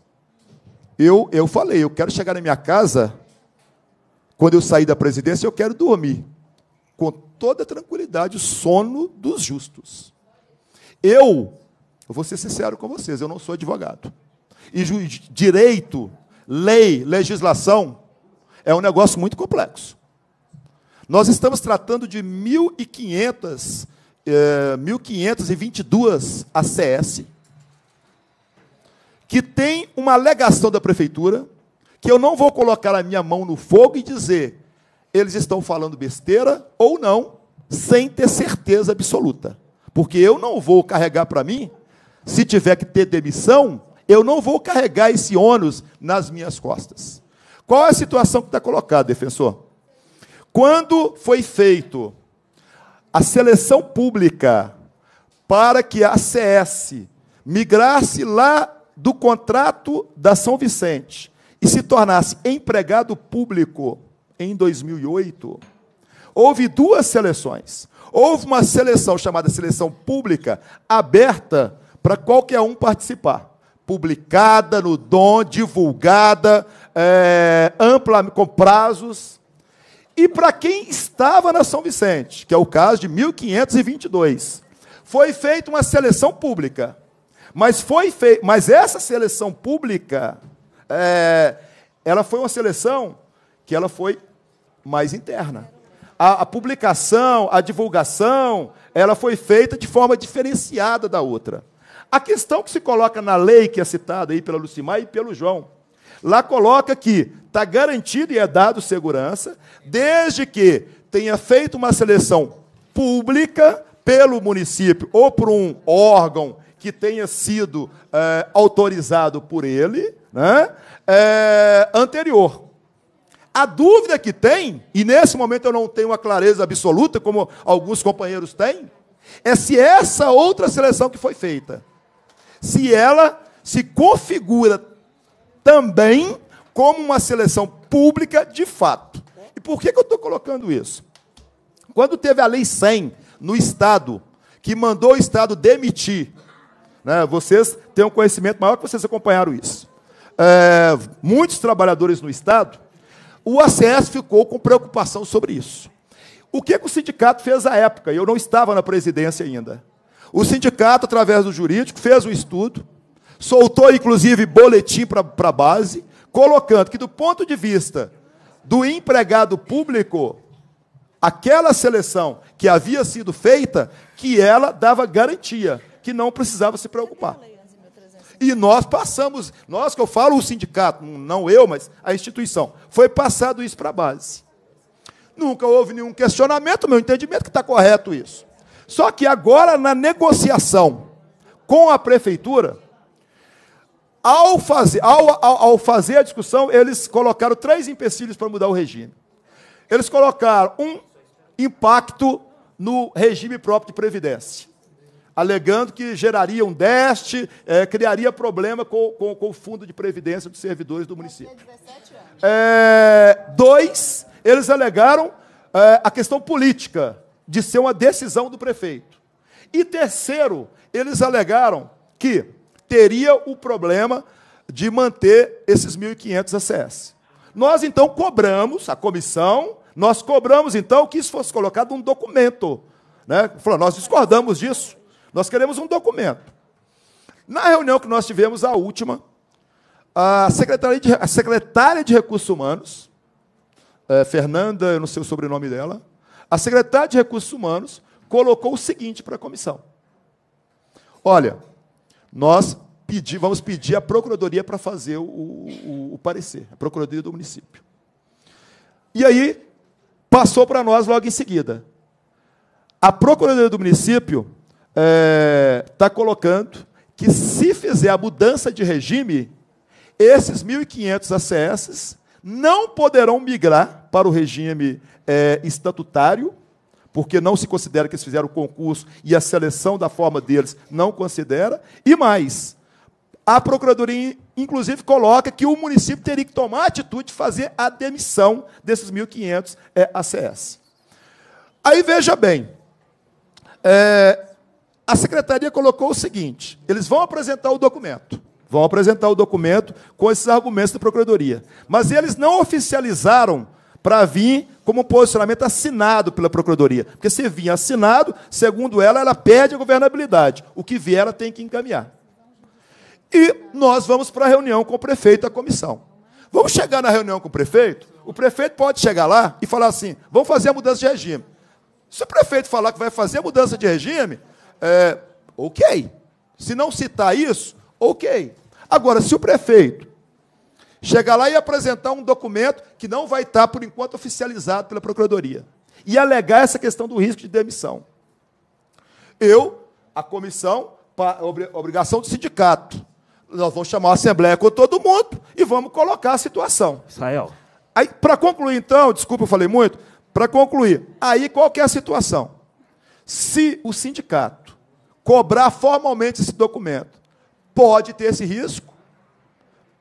Sim ou não. Mas eu gostaria até que o senhor desse uma estudada nesse caso, porque eu não quero, se a categoria falar, o sindicato é para fazer isso, é, essa preocupação é desnecessária, eu faço.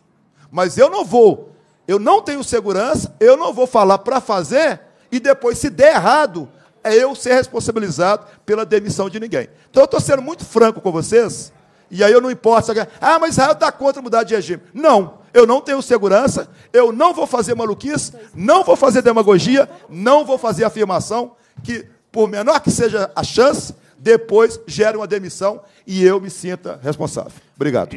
Israel, eu sei da sua probidade, da sua capacidade singular de liderar, de negociar. Tive a oportunidade de conviver com o sindicato anterior ao exercício da sua presidência e também é, já a partir do momento em que você assumiu. E sou testemunha, inclusive como vereador, que o sindicato de fato se esmeira e muitas vezes uma luta Davi versus Golias para tentar dignificar e valorizar o servidor. Quanto a isso, eu não tenho dúvida. O tive um acumulado como vereador e no exercício como deputado. Primeiro, no que tange a emenda especificamente do projeto que tramita. Eu, particularmente, entendo não haver vício de origem nas duas emendas protocoladas por João e Lucimar em nome da categoria. Por quê? corroborando com o que o João afirmou, nós, legisladores, estamos impedidos por lei federal de promover qualquer ação que incida em gasto para o município. Porém, essa tem uma especificidade já citada por todos nós praticamente. O recurso não é do município, de Belo Horizonte. O recurso é proveniente, sua origem é federal e repassado para o município de Belo Horizonte com esse fim. Logo, na minha modesta opinião, mas pelo acumulado desses praticamente quatro mandatos, não entendo ter vício de origem. Mais do que isso, quantas vezes no exercício do legislativo eu vi projetos que suscitavam muita, muita, muita dúvida haver acerto para que ele passasse sem ser considerado sua constitucionalidade, juricidade. Então, para mim, o que está faltando, não da parte de você, sindicato, mas sejamos verdadeiros, da parte do prefeito, dos vereadores, é vontade de resolver. E quando se quer resolver, resolve. Quando não quer resolver, é tudo quanto é tipo de desculpa. Ah, não posso resolver porque ele está com camisa branca. Não posso resolver porque ele está com camisa vermelha. E assim, respectivamente. Então, nesse caso, na minha opinião, e não temo em afirmar, está faltando é vontade para ser resolvido. Só, só, só, é. só uma questão aqui, que eu queria completar aqui. É, que eu falei, mas é, esqueci de colocar. Tá, e, e, não quero imputar essa culpa a vocês, que vocês não votam. É. Vocês são vereador, né, prefeito? O governo mandou o substitutivo, e me parece que, que aquela emenda, inclusive, é, dessa questão de amarrar, é, me parece que ela não foi no substitutivo, é, onde ele está mexendo no acompanhamento que tem o estatutário, mas a gente está brigando para vocês também estarem e ter as mesmas licenças, ele está, ele está lá na proposta dele acabando com aquele direito do servidor.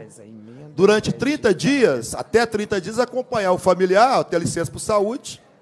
É, se ele quiser usufruir disso, é 30 dias sem receber, e isso aí atrasa avaliação de desempenho, aposentadoria e tudo mais. A outra medida que ele está mandando para lá, acabando com a venda de férias prêmio, passa a ser igual aquilo que foi proposto lá para vocês, cinco anos, três meses, mas só para gozo. E a, o terceiro ponto que eles estão acabando lá é o pessoal que vem do Estado ou de outros órgãos, a, a partir, é lógico, novos concursos, não, não atingiria quem já está, mas ele vindo para a prefeitura, ele não poderia verbar mais o tempo de, de quinquênio. Esses três é o que foi como emenda. Mas tem outras medidas que, que estão propondo que mexe com avaliação de desempenho, com o CONAP. Então, é essa situação que aí eu vou ter que pedir licença para ir lá para a reunião Israel, só, só, dois minutos, se você Sim. puder me conceder. Já com relação à mudança de regime. Eu já era já estava no exercício do mandato de deputado estadual quando chegou essa enorme polêmica da Lei 100. Da lei 100. Eu entendo, também nesse caso, que sejam situações diferentes. Aqui passou por um processo de seleção que inclusive o João e as meninas nos trouxeram e está na mão do João ali. E, para mim, o que mais vale é situação exatamente análoga. Então, o que gera jurisprudência. O caso das professoras é um caso diferente dos ACS, dos ACS, enfim, do que a gente está tratando aqui. E aí, no ano de 2014, teve uma ação que transitou em julgado e que a sentença foi favorável, no caso, ao servidor. Teve um município, e está aqui, na minha mão, quarta, é, é, 15 região, isso daqui foi, foi disponibilizado na quarta-feira, 17 de setembro de 2014, o juiz da Vara de Trabalho de Teodoro Sampaio, no município de Rosana, São Paulo. Foi exatamente a mesma coisa. A mesma, sem tirar nem pôr. Nós estamos falando, inclusive, da mesma profissão. É a mesma profissão, o mesmo caso. Obviamente que isso, cabeça do juiz, a ele é facultada a decisão. Mas nós estamos falando aqui de jurisprudência. Já teve uma decisão e a decisão foi em favor do servidor. E entendo, sim, que você deve ter e tem que ter cuidado, porque você está falando do futuro de mais de 1.500 pessoas, famílias. Então você tem que ter cuidado. Agora, para mim, eles estão amparados pela lei. E para vocês também, né, no passado, Sim. no passado, não significa que vocês tenham a mesma opinião, mas no passado, no ano de janeiro de 2015, chegou às minhas mãos um informativo do próprio Sindibel, também. Da migração para empregado público entendendo da mesma forma. Então, naquela oportunidade, Sindibel entendia dessa forma. Aqui nós estamos respaldados. Ele também não falou que ele mudou de ideia, não. Eu, falei que eu tenho, eu, eu tenho uma responsabilidade muito não, grande. Lá atrás, de repente, o pessoal hum. tinha um posicionamento sem se preocupar. Eu me preocupo. É, é, é, eu acho que nós vamos ter que debater é, é, isso. só, só eu entendi o que você falou. Entendeu? Você não quer e depois, sendo bom ou ruim, certo ou errado, você quer escutar primeiro. Eu entendi perfeitamente. Eu tô, eu tô aqui emitindo. A... Só um minutinho, gente. Eu tô dentro daquilo que ele colocou, eu estou emitindo a minha opinião, entendendo o seu papel. Não estou aqui a dizer qualquer não, não. juiz de valor ou crítica. E, e aí, por último, Israel, só vou te pedir mais um minuto que o João quer, quer falar a respeito do assunto e aí te agradecer pela presença. Pois não. Pessoal, só um minutinho de atenção. Acho que meu microfone aqui está baixo. Pessoal, é o seguinte. A questão da Lei 100 não tem nada a ver com a gente. A Lei 100 pegaram faxineiro, porteiro e jogaram lá, professor de contrato. Eles não fizeram própria seleção pública. Prefeitura misturar isso é achar que nós somos imbecil. Nós não temos céu. Vamos parar com isso. Isso é malandragem da própria prefeitura. Uma coisa que eu falo para vocês aqui. Voltou a gongorra. Estão jogando a categoria contra a categoria. As meninas vão ficar desempregadas. Vamos parar com isso, gente. Vamos parar com isso. Senhor Alexandre Tavares. Alexandre Tavares Costa, defensor público. Eu estou com a portaria aqui, 4.769, de 16 de abril. O prefeito de Belo Horizonte, em cumprimento do disposto, é, parágrafo com isso, segundo o artigo da lei, é, do artigo 8 da lei 9490, de 14 de janeiro de 2008, resolve. Artigo 1 tornar público o hall dos profissionais em exercício das atividades próprias de agente comunitário de saúde que se submeteram a processo seletivo, autorizado, supervisionado pela administração direta do, do executivo.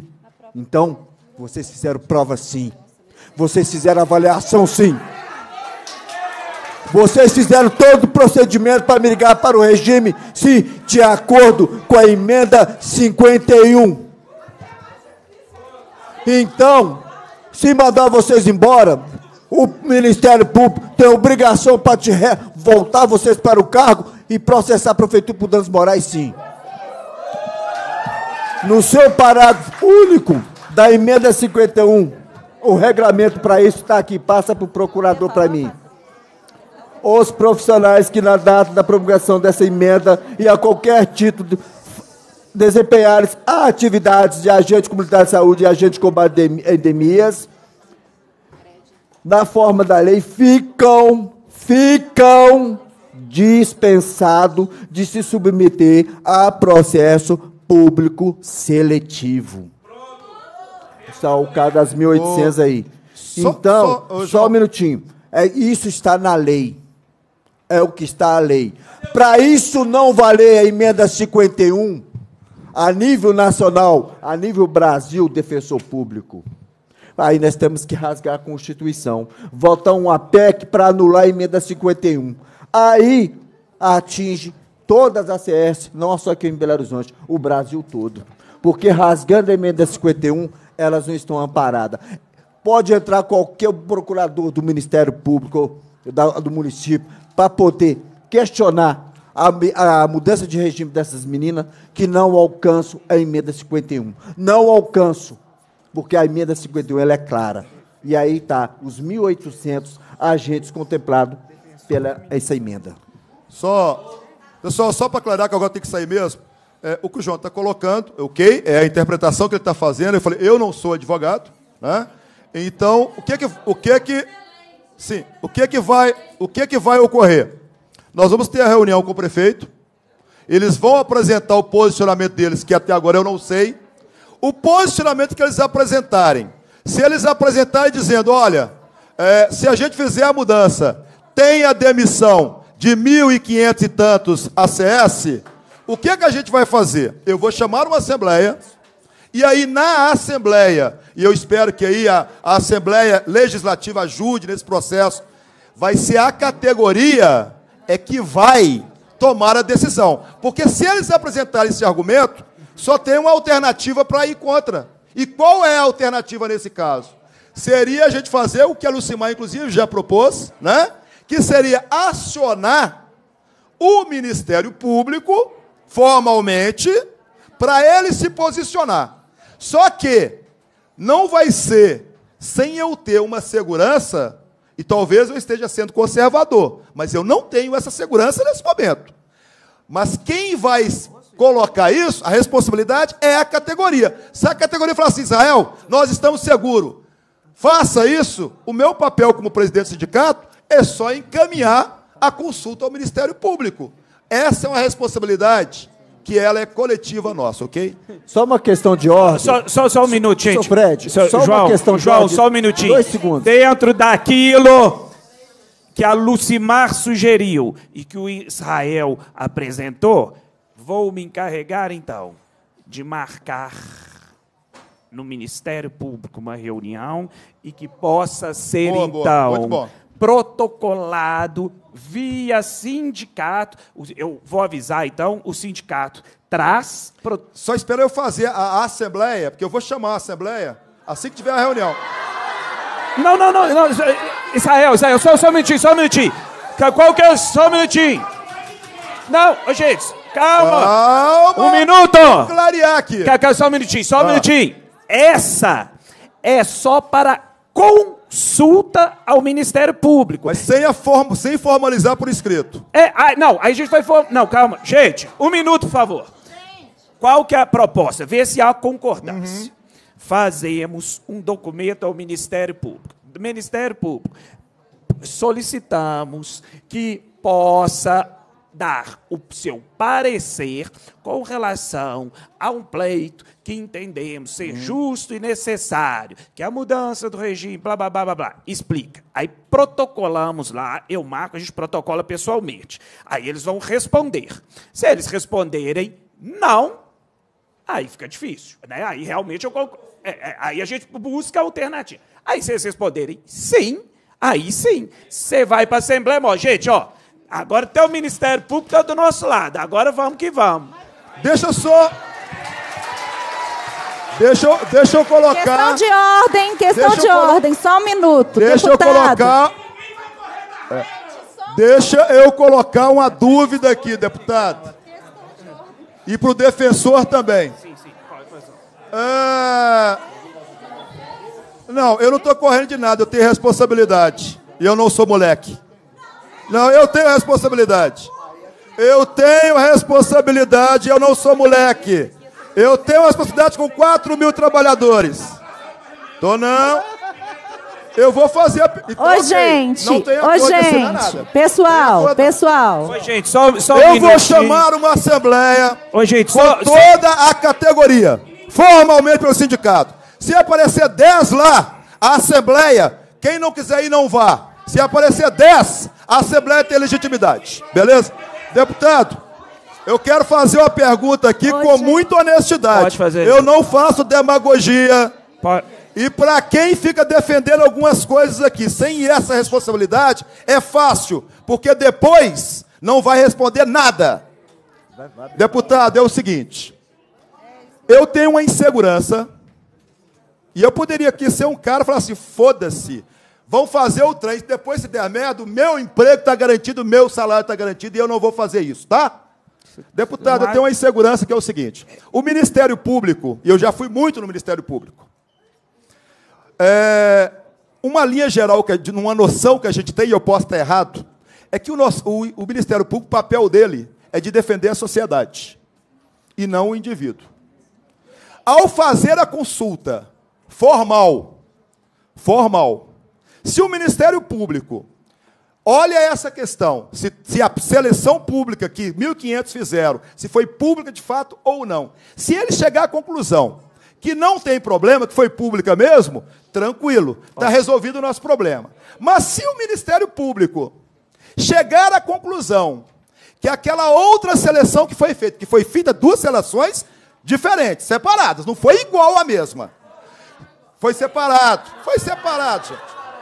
Se, se o Ministério deixa ele Público completar, por favor. chegar à conclusão terminar, gente. que, uma, pa- que os 1.500 não foi igual, não foi seleção pública, ele é obrigado, ou ele pode, tomar atitude no sentido de questionar a prefeitura da mesma forma como questionou no caso dos professores?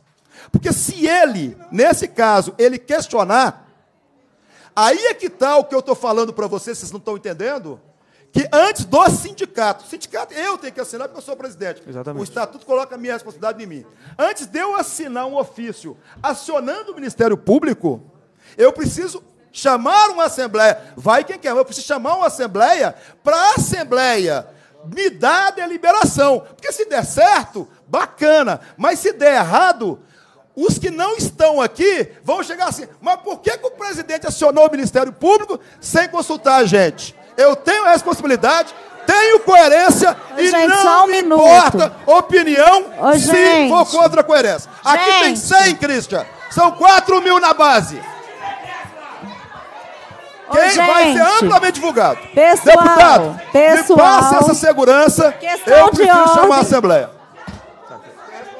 Ô, gente, só um minutinho. Só um Ô, ô, minutinho. gente, antes dele sair, só um minutinho. Agradecer a. Ele tá saindo, eu quero agradecer a presença dele, é, é, é, reconhecendo seu papel. Os, pessoal, gente, gente, gente, vamos prestar atenção. Ô, gente. porque Pessoal, silêncio, por gentileza. Eu só, eu só Gente, queria só- só um minutinho. Eu um quero minuto só- antes do Israel sair. Pô, só um minutinho, gente. Nós podemos discordar, eventualmente, da posição de A, B, C, D ou E, mas é, mas é nosso papel e o papel de todos nós, irrestritamente, respeitar. Então, nesse sentido, eu quero agradecer a presença do Israel, porque legitimamente ele é o representante de vocês. Com certeza. E, e, e agradecer e esperamos então o desdobramento, seja ele qual for, ou a definição de fazermos direto ou de fazer através da Assembleia, que assim o faça e que possa ser feito da forma mais rápida, tomando os devidos cuidados. Mas, de qualquer forma, agradecer a sua presença e dizer que é de fundamental importância que nós estejamos unidos e irmanados de um só sentimento, que é o melhor para a CS para a CE. Muito obrigado pela sua presença.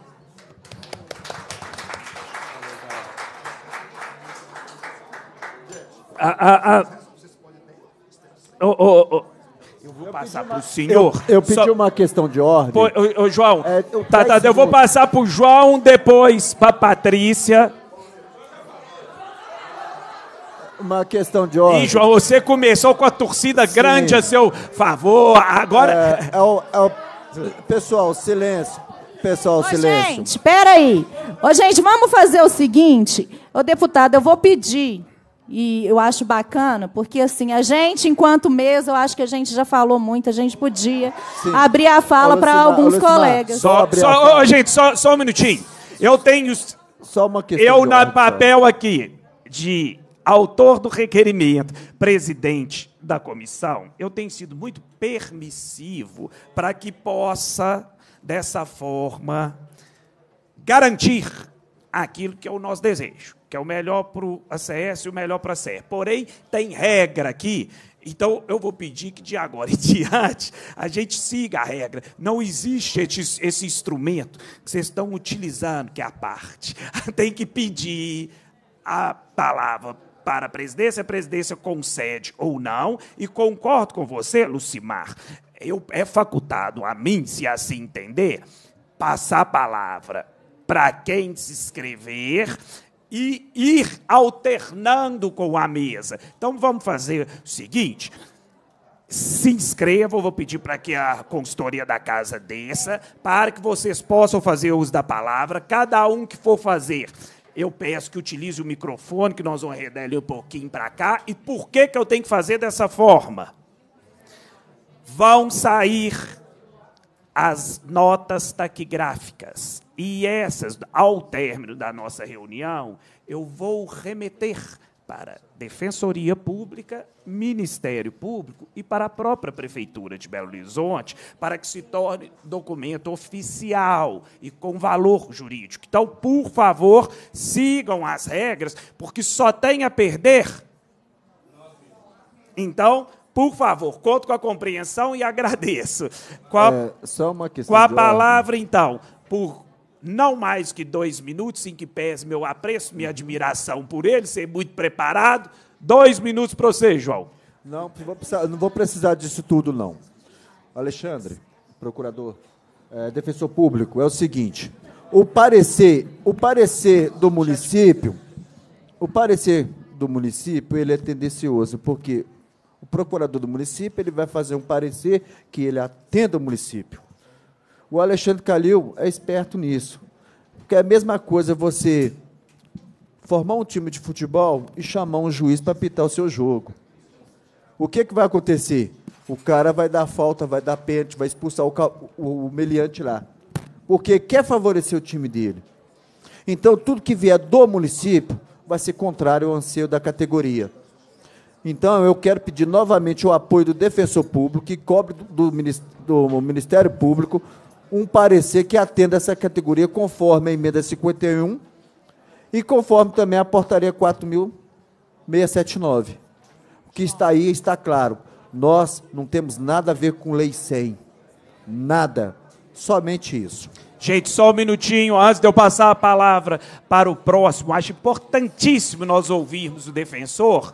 Chegou, chegou às minhas mãos uma infinidade aqui de declaração de comparecimento. Quem não o fez e deseja fazer, por favor, avise para minha assessora Roseli e eu vou ficar um tempo aqui cabisbaixo, que eu vou assinar um tanto. Não entendam que eu não estou dando atenção. Eu vou estar ouvindo, mas vou estar assinando declaração de comparecimento de vários de vocês, ok?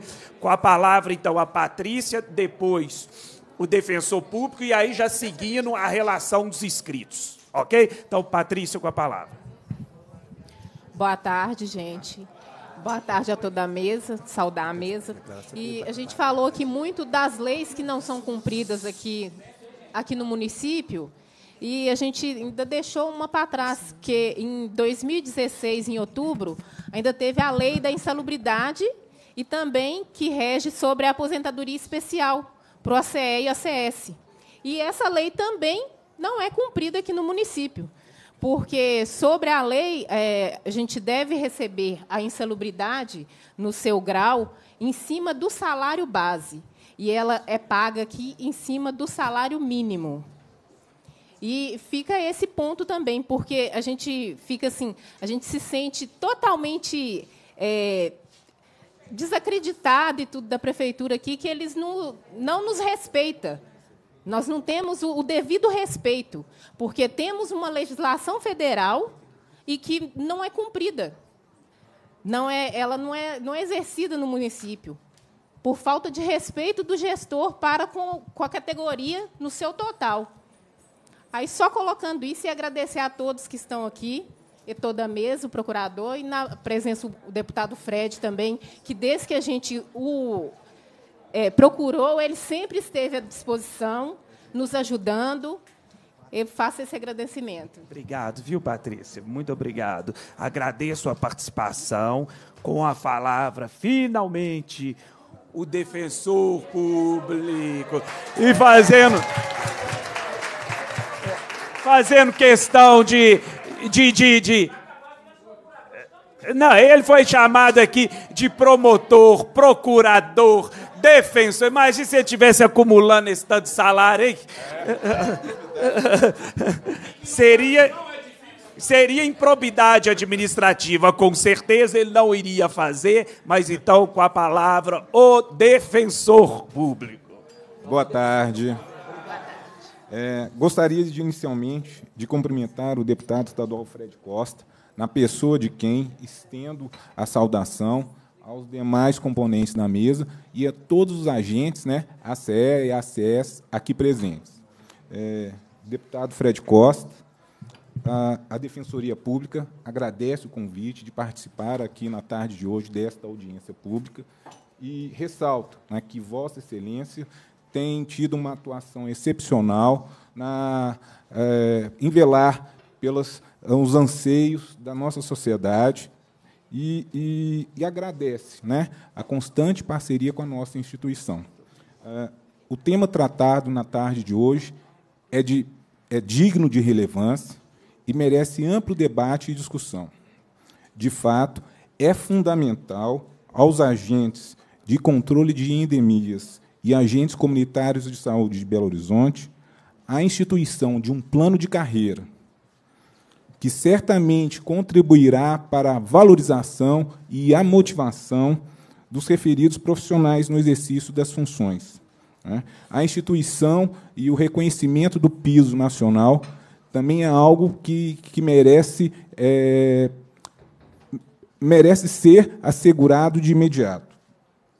É, a alteração do regime jurídico pretendido, sim, trará a segurança jurídica de todos os envolvidos. Eu gostaria de destacar que a Defensoria Pública é uma instituição que tem por missão constitucional assegurar a proteção jurídica de todas as pessoas em situação de vulnerabilidade. E aqui me coloco à disposição, né, ouvi atentamente todas as manifestações da Lucimar, do João, da Patrícia, né, e, e no, nos colocamos à disposição para participar da, da interlocução junto ao Poder Municipal, inclusive, se necessário, propor as medidas judiciais cabíveis na, na proteção dos trabalhadores. É, agradeço aqui a, a, a, palavra, não vou me estender, sei que é, alguns de vocês também querem fazer manifestação, mas a Defensoria Pública, né, de pronto, é, se coloca à disposição de todos os agentes da categoria aqui, é, a fim de, de, de pro, protegê-los, né? de todas essas injustiças, ok? Eu quero agradecê-lo e de, aqui de forma bem objetiva nós temos duas essas duas questões. Ah, nós separamos aqui uma documentação para entregar para o senhor e perguntar se a gente poderia marcar uma reunião da comissão, eu acompanhando, para que a gente tratasse objetivamente dessas duas questões que nós entendemos que não está sendo cumprida a lei para que o senhor possa nos é, indicar se há a possibilidade ou não da intervenção da defensoria, seja ela através da, da própria promoção do diálogo ou, se for necessário, através de ajuizar ação de interesse público. Sim, sim, me coloco à disposição né, em receber a documentação e, eventualmente, marcar uma reunião com a participação dos representantes e de Vossa Excelência. Oh, ok, então, agradeço muito. Então, fica aqui já dois, aliás, três encaminhamentos antes mesmo do término da viagem, que eu peço total total é, é, é, atenção da consultoria da casa e também da minha assessoria. Um, sejam remetidas as notas taquigráficas para a Defensoria Pública, Ministério Público, Prefeitura de Belo Horizonte. Dois, tão logo tenhamos o retorno do sindicato, para que a gente possa marcar com o Ministério Público para fazer, é, promover junto a eles uma consulta se MP entende ser constitucional ou inconstitucional a mudança de regime.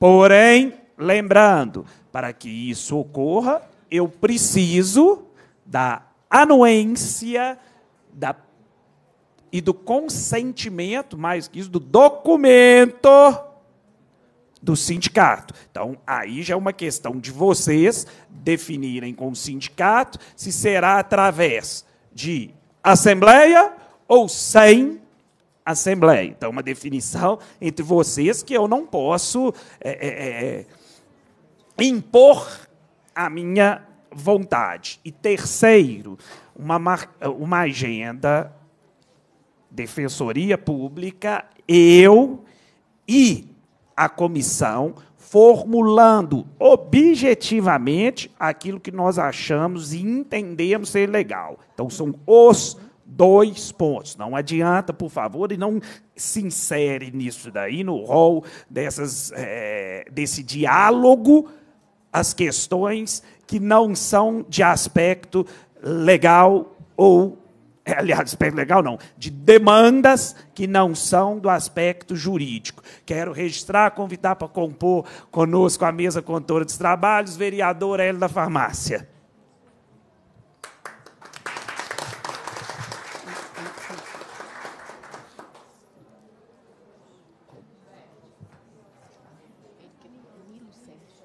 Com a palavra o Nilo Sérgio. Por favor, a lista dos inscritos chegar na minha mão.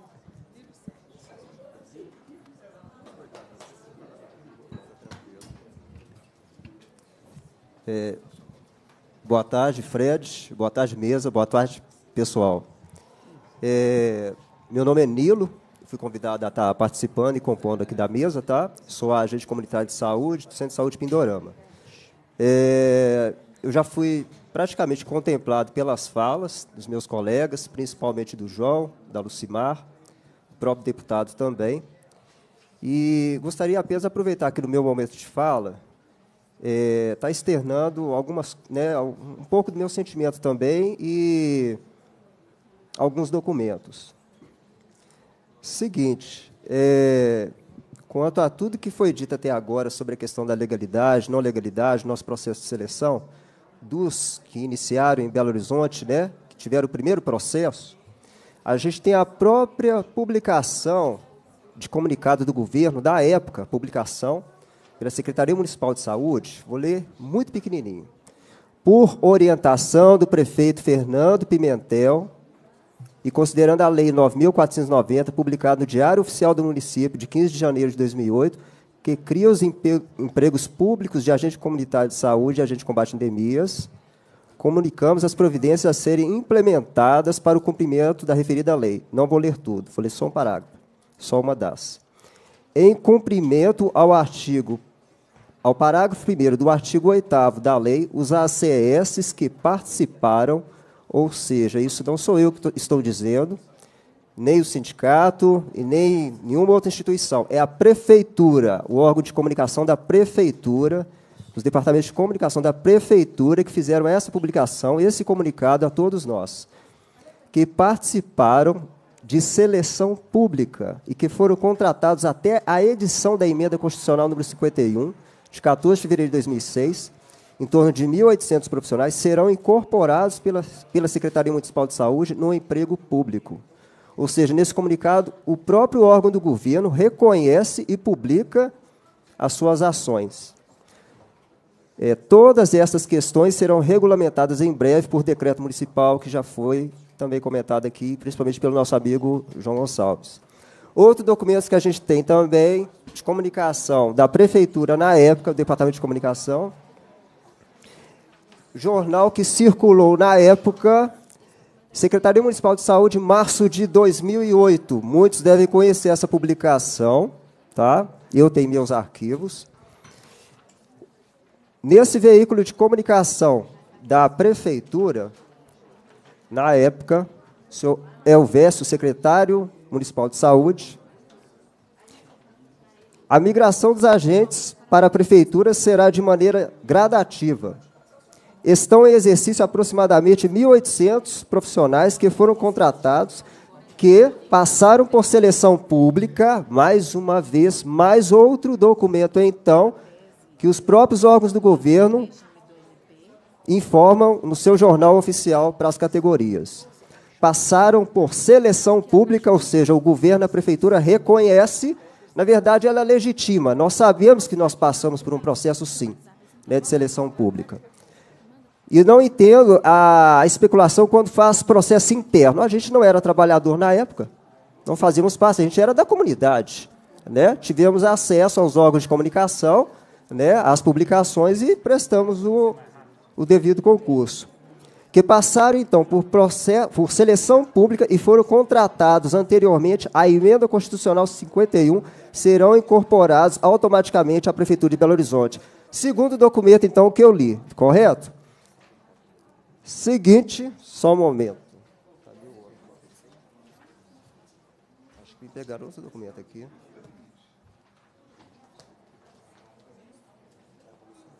Lucimar, você pegou uma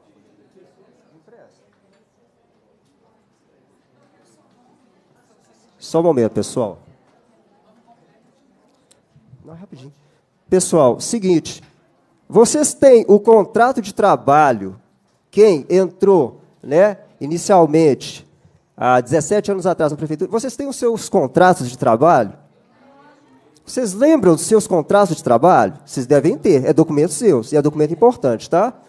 Então, aqui na cláusula número 1, um, é a primeira cláusula do seu contrato de trabalho, nosso contrato de trabalho. O empregado devidamente, vamos prestar atenção, selecionado, devidamente selecionado nos termos do parágrafo 1 do artigo 8 é contratado sobre o regime de, da, de consolidação das leis do trabalho, Decreto-Lei decreto, que o nosso amigo João aqui publicou para a gente também, resgatou isso para a gente, número 5.452, e suas modificações posteriores. É o nosso primeiro e importante documento, mas que em ordem aleatória aqui, esse está sendo o terceiro que eu estou citando, que a própria prefeitura reconhece, e não é dessa prefeitura, nem da anterior, da outra ainda, né, do Pimentel, como passamos por processo de seleção. Né? Então, quanto isso aí é o seguinte, é igual o nosso amigo aqui, nosso colega de trabalho, João Gonçalves mesmo disse.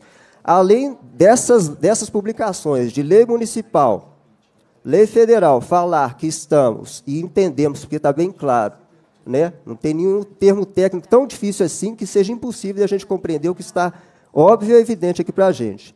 Se isso não valer, então nenhuma lei vale nada mesmo. Aí pode rasgar. Né? E outra coisa que eu gostaria de estar colocando aqui também é o seguinte: vale o que se convém realmente, porque contra-cheque. Fevereiro de 2010. Fevereiro de 2010. Salário contratado 504 reais. 504 reais. Isso. Fevereiro de 2010, ano 2010, salário 504 reais. Guardem essa informação. Ué, passou esse tempo todo, não mudou muita coisa também. Olha não? só. É. Não, cê, vamos chegar lá. Nós vamos chegar lá. Nós vamos chegar lá. Então tá, salário contrato 504 reais. Agora vem uma lei que convém. Para mim, não, convém para a prefeitura, né? Complemento remuneração sobre salário mínimo. Seis reais. Seis reais. Tá, bacana, né? 504 reais salário, complemento, uma lei que veio para complementar, é legal? Bem, aqui criaram uma lei para se tornar o ilegal legal. Então, para isso, convém, né? Beleza. Então, o ano aí foi 2010. Ano de 2017, junho de 2017, contra-cheque. Salário contratado, R$ 876,97. Período passou aí sete anos. Tá. Qual que foi a complementação na época que eu li aqui agora? R$ reais. Hoje, complemento remuneração sobre salário mínimo. E ainda baseado em lei, hein? Tem lei para isso. Tem lei para isso. R$ reais só aumentou um zero, vezes 10. Né? Ou seja, para isso tem legalidade. Agora, para tudo que estamos expondo, que está sendo documentado, que temos em nossas mãos também. Porque uma coisa é o seguinte, igual eu já vim comentado aqui com todos os meus colegas, é, eles quererem se justificar, argumentar verbalmente. Agora, apresenta documento. Sabe ler? Obrigado pela palavra. Parabéns, muito obrigado. Quero convidar a Eliane, depois a Vilma, a Edna e o Christian a fazer uso da palavra. Por favor, se dirijam a esse microfone.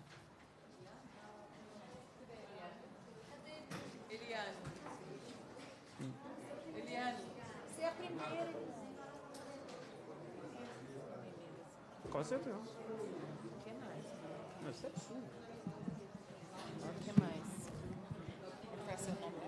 Gente, boa tarde. Eu sou Eliane, eu sou agente de saúde do Conjunto Santa Maria.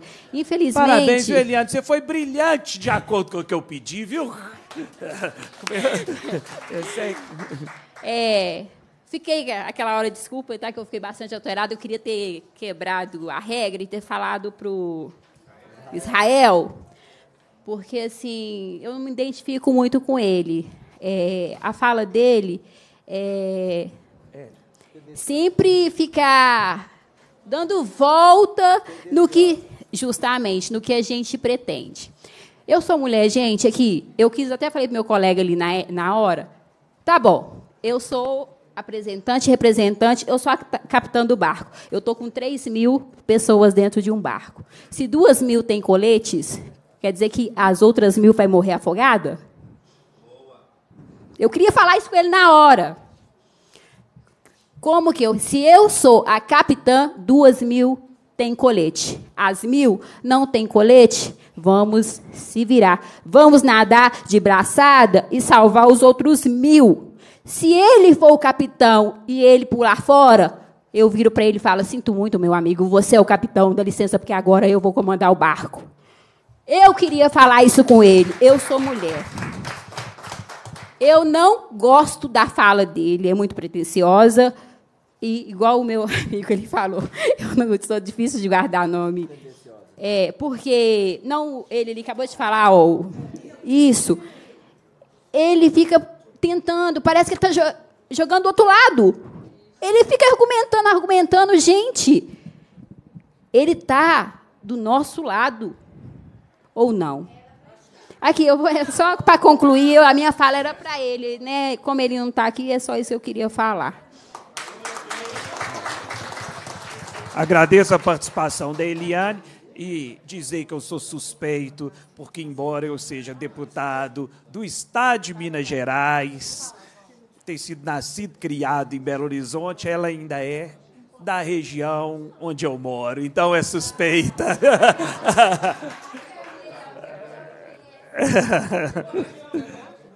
Eu sou, eu sou morador do bairro Santa Lúcia, ela é minha vizinha.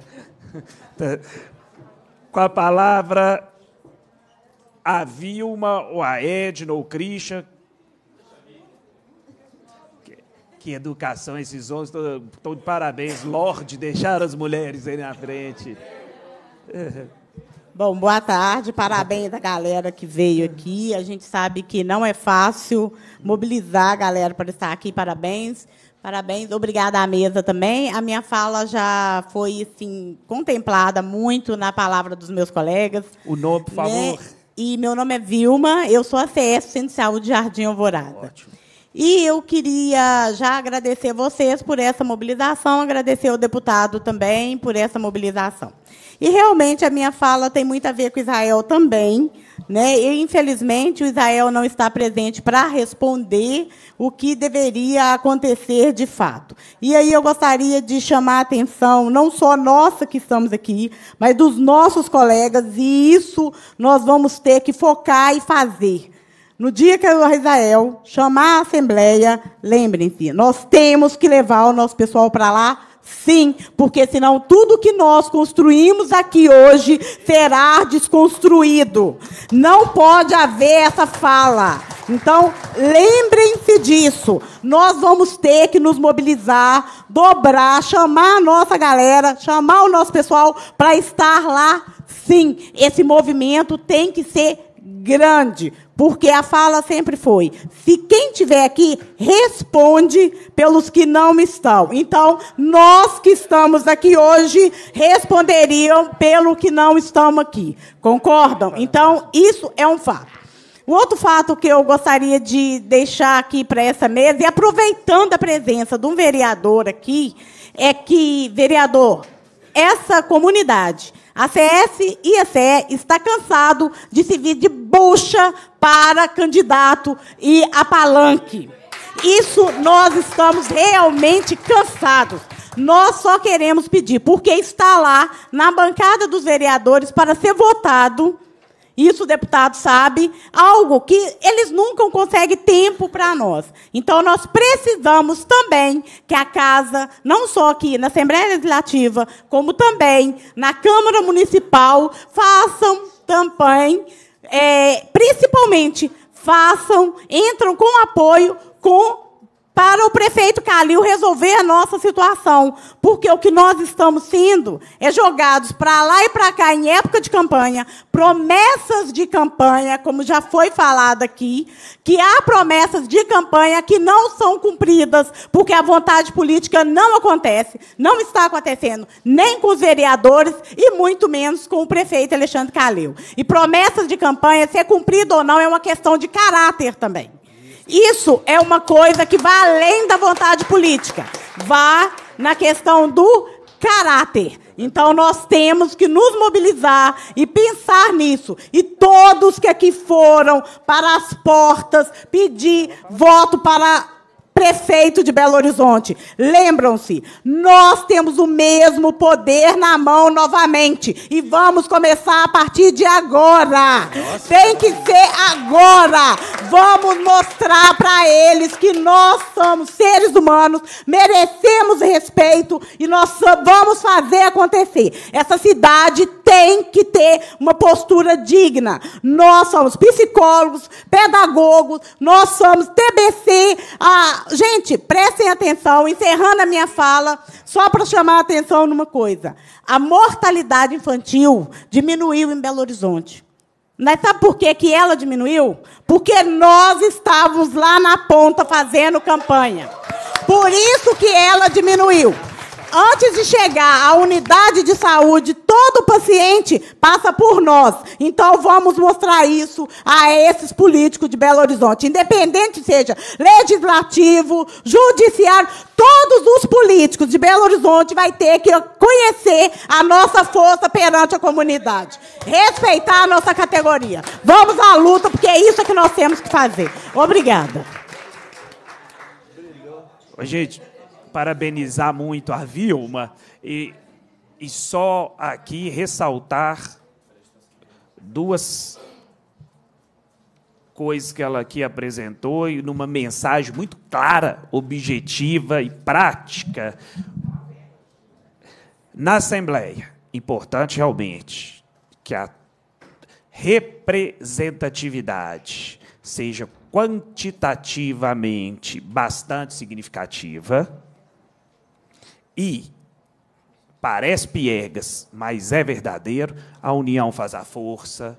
O que ganha um jogo não é um craque, é um time. No exército tem que estar tá todo mundo reunido. Numa banda de música não pode estar tá faltando instrumento. Então, o que você falou é fundamental. E, por favor, me avisem que eu vou estar lá. Minha fala não vai ser mais que um minuto. Bem objetivamente a dizer, só estou esperando aqui a aprovação que eu provo lá pessoalmente no Ministério Público marcar. Pronto. E aí nós vamos vencer uma etapa, porque é melhor a gente ter o sim ou não, que aí parece nhenhenhé, se é ou se não é. Pronto. Segundo, você foi muito feliz. Na, não só no conteúdo da sua fala, mas o tempo é efêmero. Dentro de um ano, nós temos eleição de novo. Se o problema com relação ao trato para o ACS ou ACE já perdura por mais de uma década, eu particularmente respeito muito e muitos garis, sei da, sei da importância deles para a cidade, é uma profissão digna, mas eu jamais posso me espelhar no que não está funcionando. Eu tenho que me espelhar é no que está funcionando. Então a gente é solidário aos garis, queremos que eles sejam reconhecidos, que eles também não ganhem salário mínimo, mas nós temos que nos espelhar nos tantos que estão recebendo bem. Não é mesmo? Ah, o, e aí, vou além, que o recado da senhora possa ter eco através desse microfone. Que eles lembrem que 4 mil pessoas são formadores de opinião. A opinião é o retrato da verdade. Vocês não vão mentir nem omitir, apenas externar a verdade. E a verdade é o seguinte: se enganar vocês, podem enganar qualquer um. Se forem verdadeiros com vocês, significa que devem ser verdadeiros com todos. É só isso. Então, parabéns pela sua colocação. Eu quero também agradecer a presença do vereador Hélio, que enquanto vereador, ainda se propôs a estar aqui para poder escutar. É, teve que chegar atrasado porque estava em outro, outros compromissos. Eu vou passar a palavra para ele e ainda tem, repito, e aí nós vamos finalizar. Tem a, o, o, o Christian, a Edna e o Wagner. Aí dessa forma a gente finaliza a nossa audiência pública. Então, com a palavra, o vereador Hélio da Farmácia, lembrando que ele está no seu primeiro mandato. Não, primeiro mandato como vereador, é da região do Barreiro e está aqui para poder escutar vocês também. É, boa tarde a todos né, e a todas. É, eu, como ele, eu queria agradecer muito, Fred, a, oportunidade. Fred, gente, é um parceiro muito grande que a gente tem. Né? Eu iniciei lá na prefeitura, eu sou da comissão de saúde. Eu entendo que não tem como cuidar da saúde se realmente não se tem um salário digno. Isso é o mínimo que a pessoa tem que ter.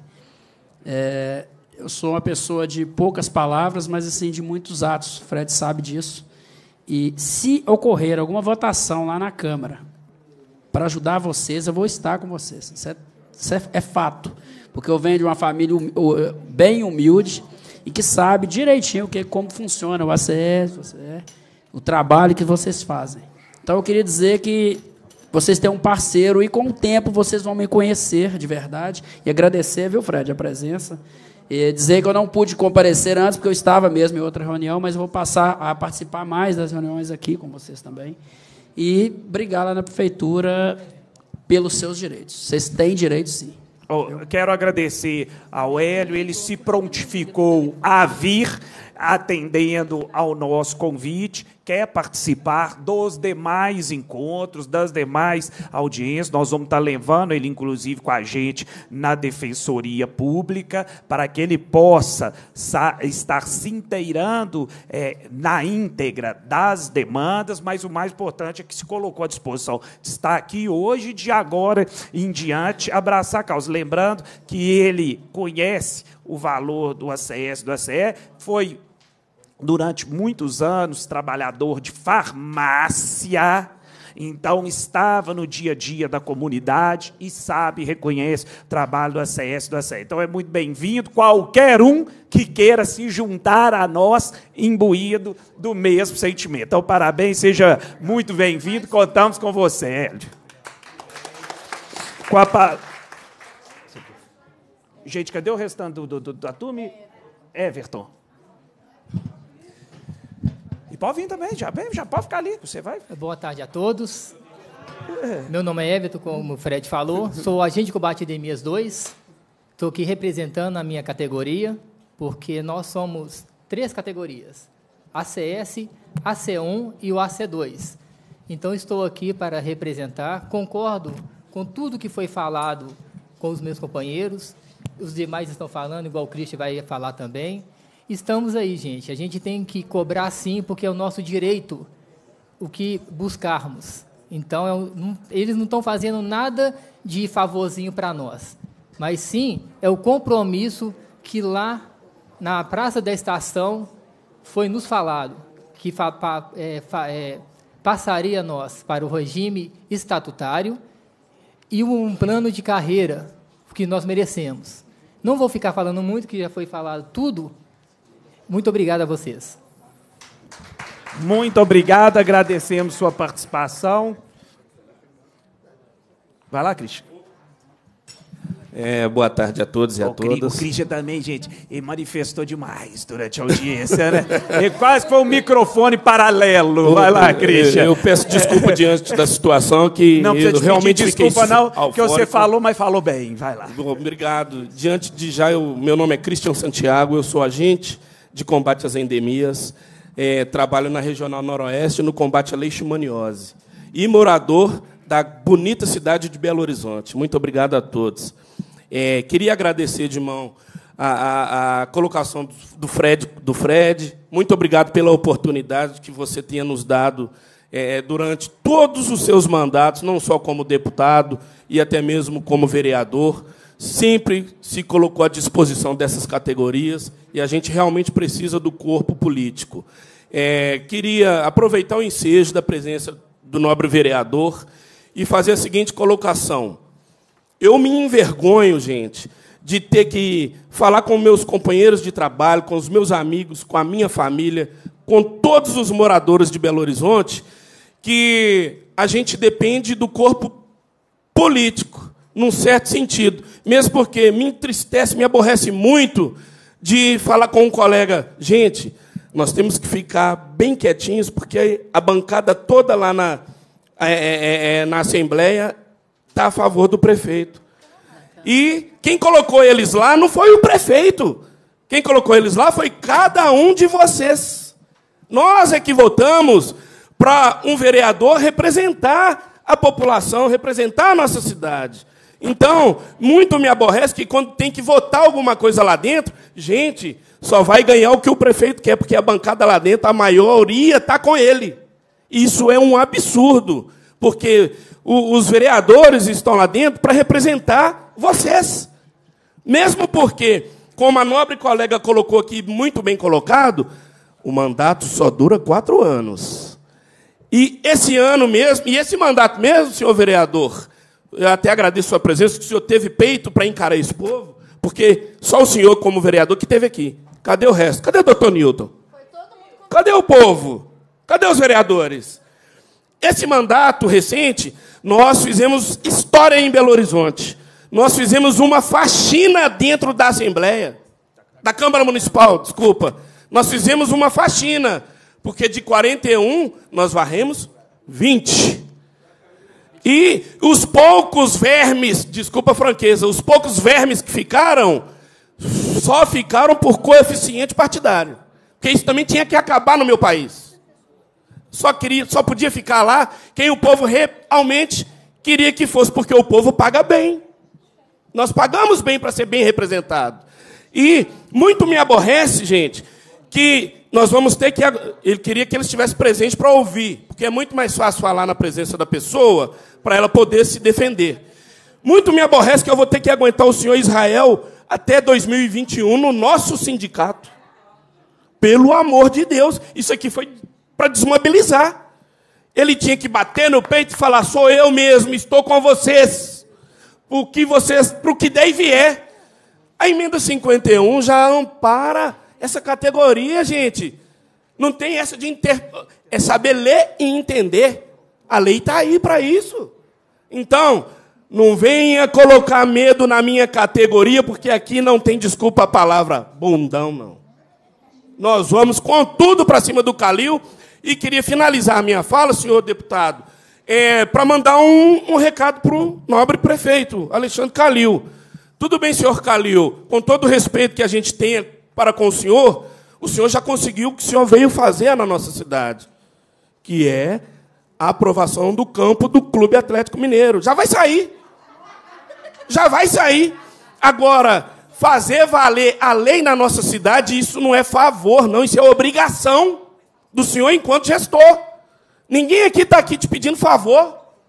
Ninguém está te pedindo favor. O senhor é obrigado a seguir a lei. Embora, gente, no nosso país parece que está muito esculhambado, que ninguém está seguindo lei com lei, mas enquanto ela existe, nós vamos ter que bater na tecla, tem que valer a lei, tem que seguir a lei. E, para ser sincero, vou até completar, falar da nobre colega Vilma. Para mim, a criação que a minha família me deu, gente, mais vale a palavra de um homem do que qualquer papel assinado. Senhor Calil, o senhor é um grande mentiroso. Porque o senhor prometeu em praça pública que ia mudar de regime, que é o que mais interessa a nós, viu, gente? A mudança do regime de seletista para estatutário, mesmo porque o que manda a lei orgânica do município é regime único, viu, gente? Já fizeram bandalheira demais colocar essa categoria na CLT, né? E, gente, outro, né? A lei foi feita para seguir, gente. Aqui não é país de bandalheiro, não. Nós, enquanto população, vamos mudar a postura dos nossos políticos no país. Muito obrigado a todos.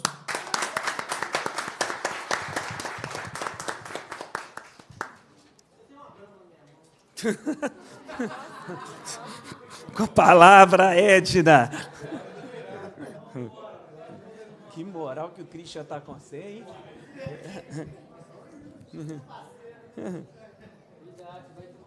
Boa tarde a todos. Meu nome é Edna Pereira dos Santos Alves. Sou agente de saúde da época de São Vicente. Estou aqui porque não acho que eu não fiz que eu não fiz concurso. Eu fiz concurso, A princípio, a categoria só existe hoje por causa de nós, porque a categoria não existia, não era reconhecida, e vem a, o Sindibel, esse povo, falar que nós não temos direito, vai afundar o barco com quem iniciou, construiu o barco. Jamais. Nós não vamos ah, é, ficar parados. Nós vamos para a rua, nós vamos para a Assembleia, nós vamos para Brasília, nós vamos aonde for para garantir os nossos direitos. Como bem o pessoal falou aqui, nós não estamos pedindo favor. Nós queremos que cumpra a lei. Se eles não sabem ler papel, que volte para a escola. Porque os papéis estão aqui e nós estamos lendo para eles. Obrigada.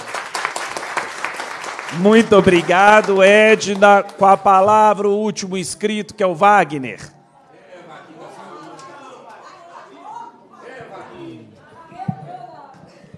É, boa tarde a todos. É, eu fiquei por muito tempo afastado das, das, dos acontecimentos aí, né, devido a problemas de saúde com a minha família. Então, não pude estar participando. Minha irmã teve um, um CA, né, está com CA na, no, nos dois, nas duas mamas. E a gente tem, tem tido um trabalho muito grande, então a gente não pôde é, participar com, direta, é, diariamente né, dos movimentos, mas assim a gente vem acompanhando.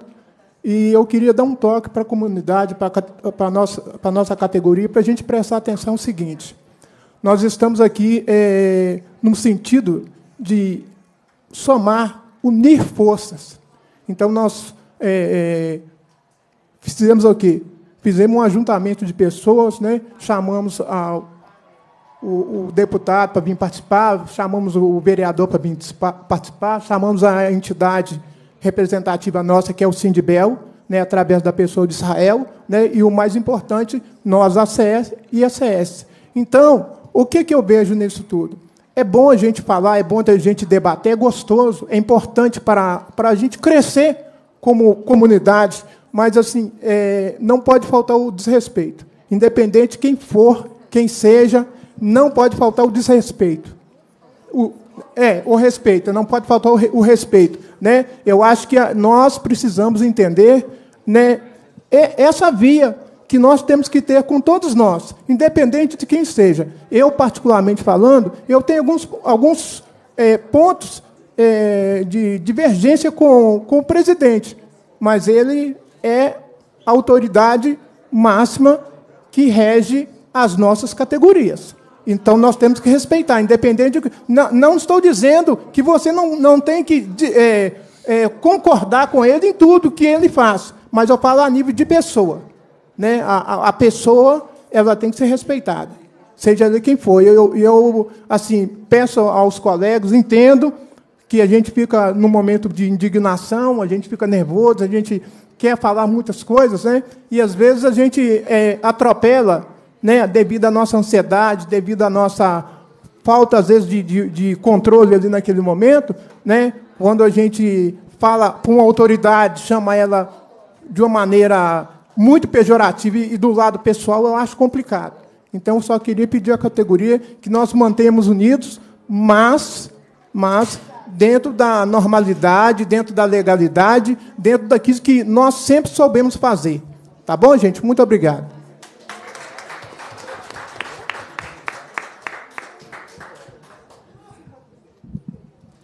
Alguém mais gostaria de se manifestar? Pode?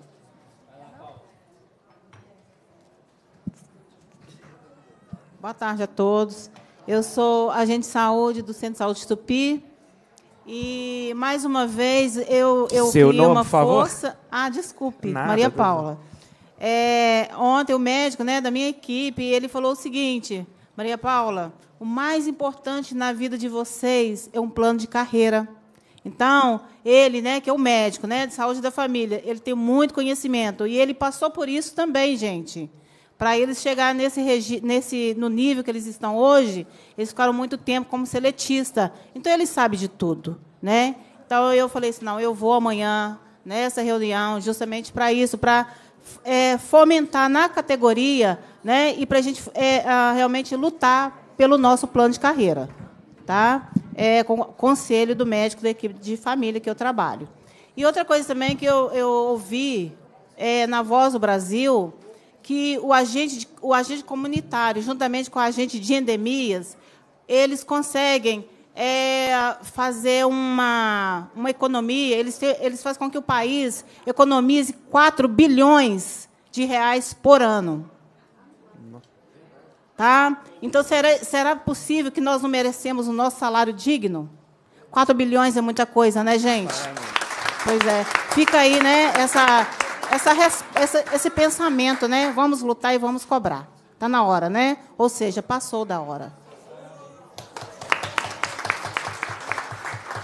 Parabéns pela sua colocação.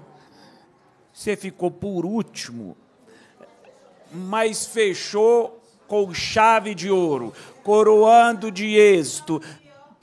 Portanto, se do ponto de vista da importância da saúde pública já é relevante o exercício de vocês, também no que tange a questão social, e agora, se nos atermos tão somente à questão do capital, que, no, na minha opinião, deve ficar em segundo plano, ainda assim está aqui demonstrado a importância da função que vocês exercem.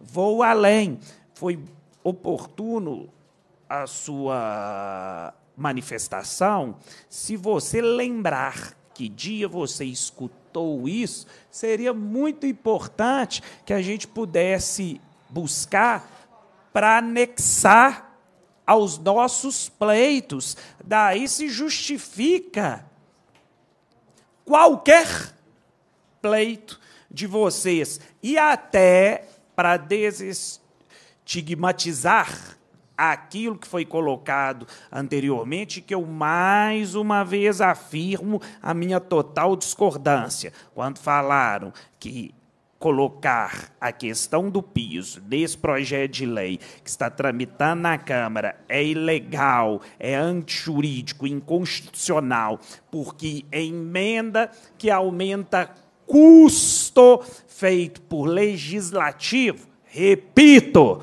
primeiro não é, do ponto de vista legal, constitucional e jurídico, errado, porque já existe a previsão e ela é egressa do cofre da, do Ministério da Saúde, sendo repassada para o município. E agora você traz um dado ainda mais relevante, porque se economiza para os cofres públicos federais, nós temos que lembrar que na saúde municipal, alguns hospitais, como por exemplo o Regional Metropolitano do Barreiro, é tripartite. Ou o investimento da saúde em determinados casos é até individual o município. Então está economizando sim para o município de Belo Horizonte.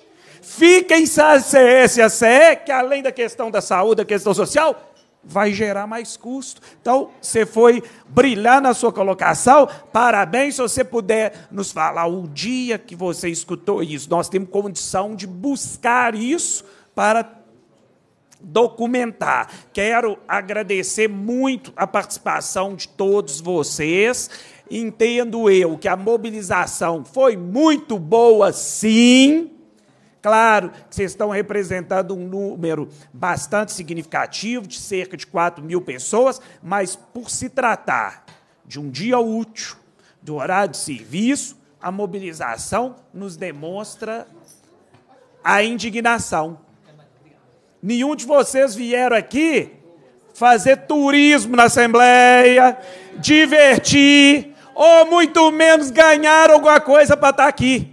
Vocês vieram porque estão insatisfeitos, porque têm pleitos e mais que isso, porque entendem que não estão sendo cumpridos direitos legítimos e adquiridos. Quero então cumprimentar todos vocês, senhoras e senhores aqui presentes, cumprimentar todos da comissão, reiterar o meu apreço e admiração, sei que vocês estão de parabéns, porque assim como vocês colocaram que tem gasto aí de transporte hoje, até de alimentação para estarem aqui presentes, eles têm gasto aí constantemente de deslocamento, e sou testemunha quantas vezes vieram até aqui em outros locais conosco e ainda vão ter que ir muito, dizendo aqui por último, além de agradecer a presença, em que pese tenha havido discordância da minha parte, da parte de vocês com ele, mesmo ele não se fazendo presente, agradecer sim a presença do Israel, agradecer a presença do defensor, agradecer a presença do vereador Hélio da farmácia, mais uma vez, a minha tremenda insatisfação e descontentamento com a ausência e a covardia da prefeitura em não enviar ninguém e dizer para vocês o autor eu me lembro, não me lembro o nome agora, fugiu a memória, mas um sábio disse o seguinte: a esperança o sonho de quem dorme acordado. Não percam a esperança, porque a a profissão de vocês é digna, é valorosa. E vocês, melhor do que ninguém, sabem disso. Não percam a esperança. Aqueles que querem desvalorizá-los ou que não querem reconhecer, o que mais desejam é que vocês possam se esmurecer, que vocês possam deixar de mobilizar. Continuem mobilizados, bravos e organizados. Ninguém, nenhum chefe de executivo ou nós do legislativo temos força para calar vocês se vocês estiverem unidos. O... Vocês podem ter, eventualmente, opiniões diversas ou até infortúnios de ordem pessoal mas vocês têm que estar unidos num só time. Que não é Cruzeiro que o João acostuma vestir a camisa e me descontenta, não é Atlético, não é Cruzeiro, não é Flamengo. A camisa que vocês têm que vestir e estar unidos é de ACS, de ACE, da saúde, de amor à cidade. E aqueles que apregoaram durante a campanha, que amam a cidade, que possam demonstrar nos atitudes, nos gestos e no respeito a quem cuida da cidade, que são de tantos vocês, a CS e a CE. Hoje foi apenas mais um passo. Mas podem até colocar de vez em quando o pé na frente para vocês tropeçarem. Vocês já demonstraram na história que tem força para passar das escoriações, de levantar e de seguir em frente. E seguindo em frente, com força, com união, se Deus quiser, nós vamos conseguir conquistar objetivos e conquistar aquilo que já é direito de vocês, mas ora não, tenha, é, não está sendo cumprido. Parabéns, ACS, ACS, e se Deus quiser, vamos nos encontrar em breve, podendo avançar e prosperar. Tenham todos uma boa tarde, não havendo mais o que ser tratado e discutido, encerro a reunião, convocando os deputados para a próxima ordinária da Comissão de Assuntos Municipais. Por último, só um breve informe. Estou assinando aqui as últimas e ficará aí com o João e com a Roseli para fazer a distribuição. Tenham todos, então, uma boa tarde, fiquem com Deus e até a próxima. Oi, espera aí que eu quero... Vamos conversar. Você, Maria. Ô, você não é fácil, não. Você.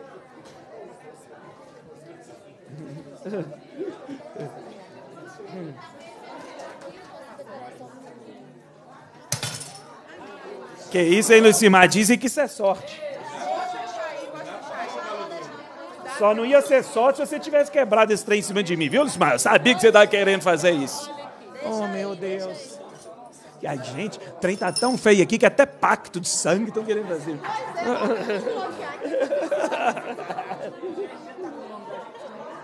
tá, todos estão com o nome de vocês.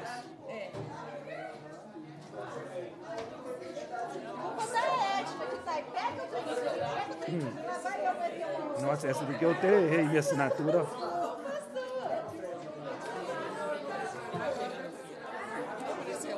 Você aprontou comigo, né? Você colocou caco de vidro no meu celular para ver se fura meu orelha. Não tem quero usar brinco, não.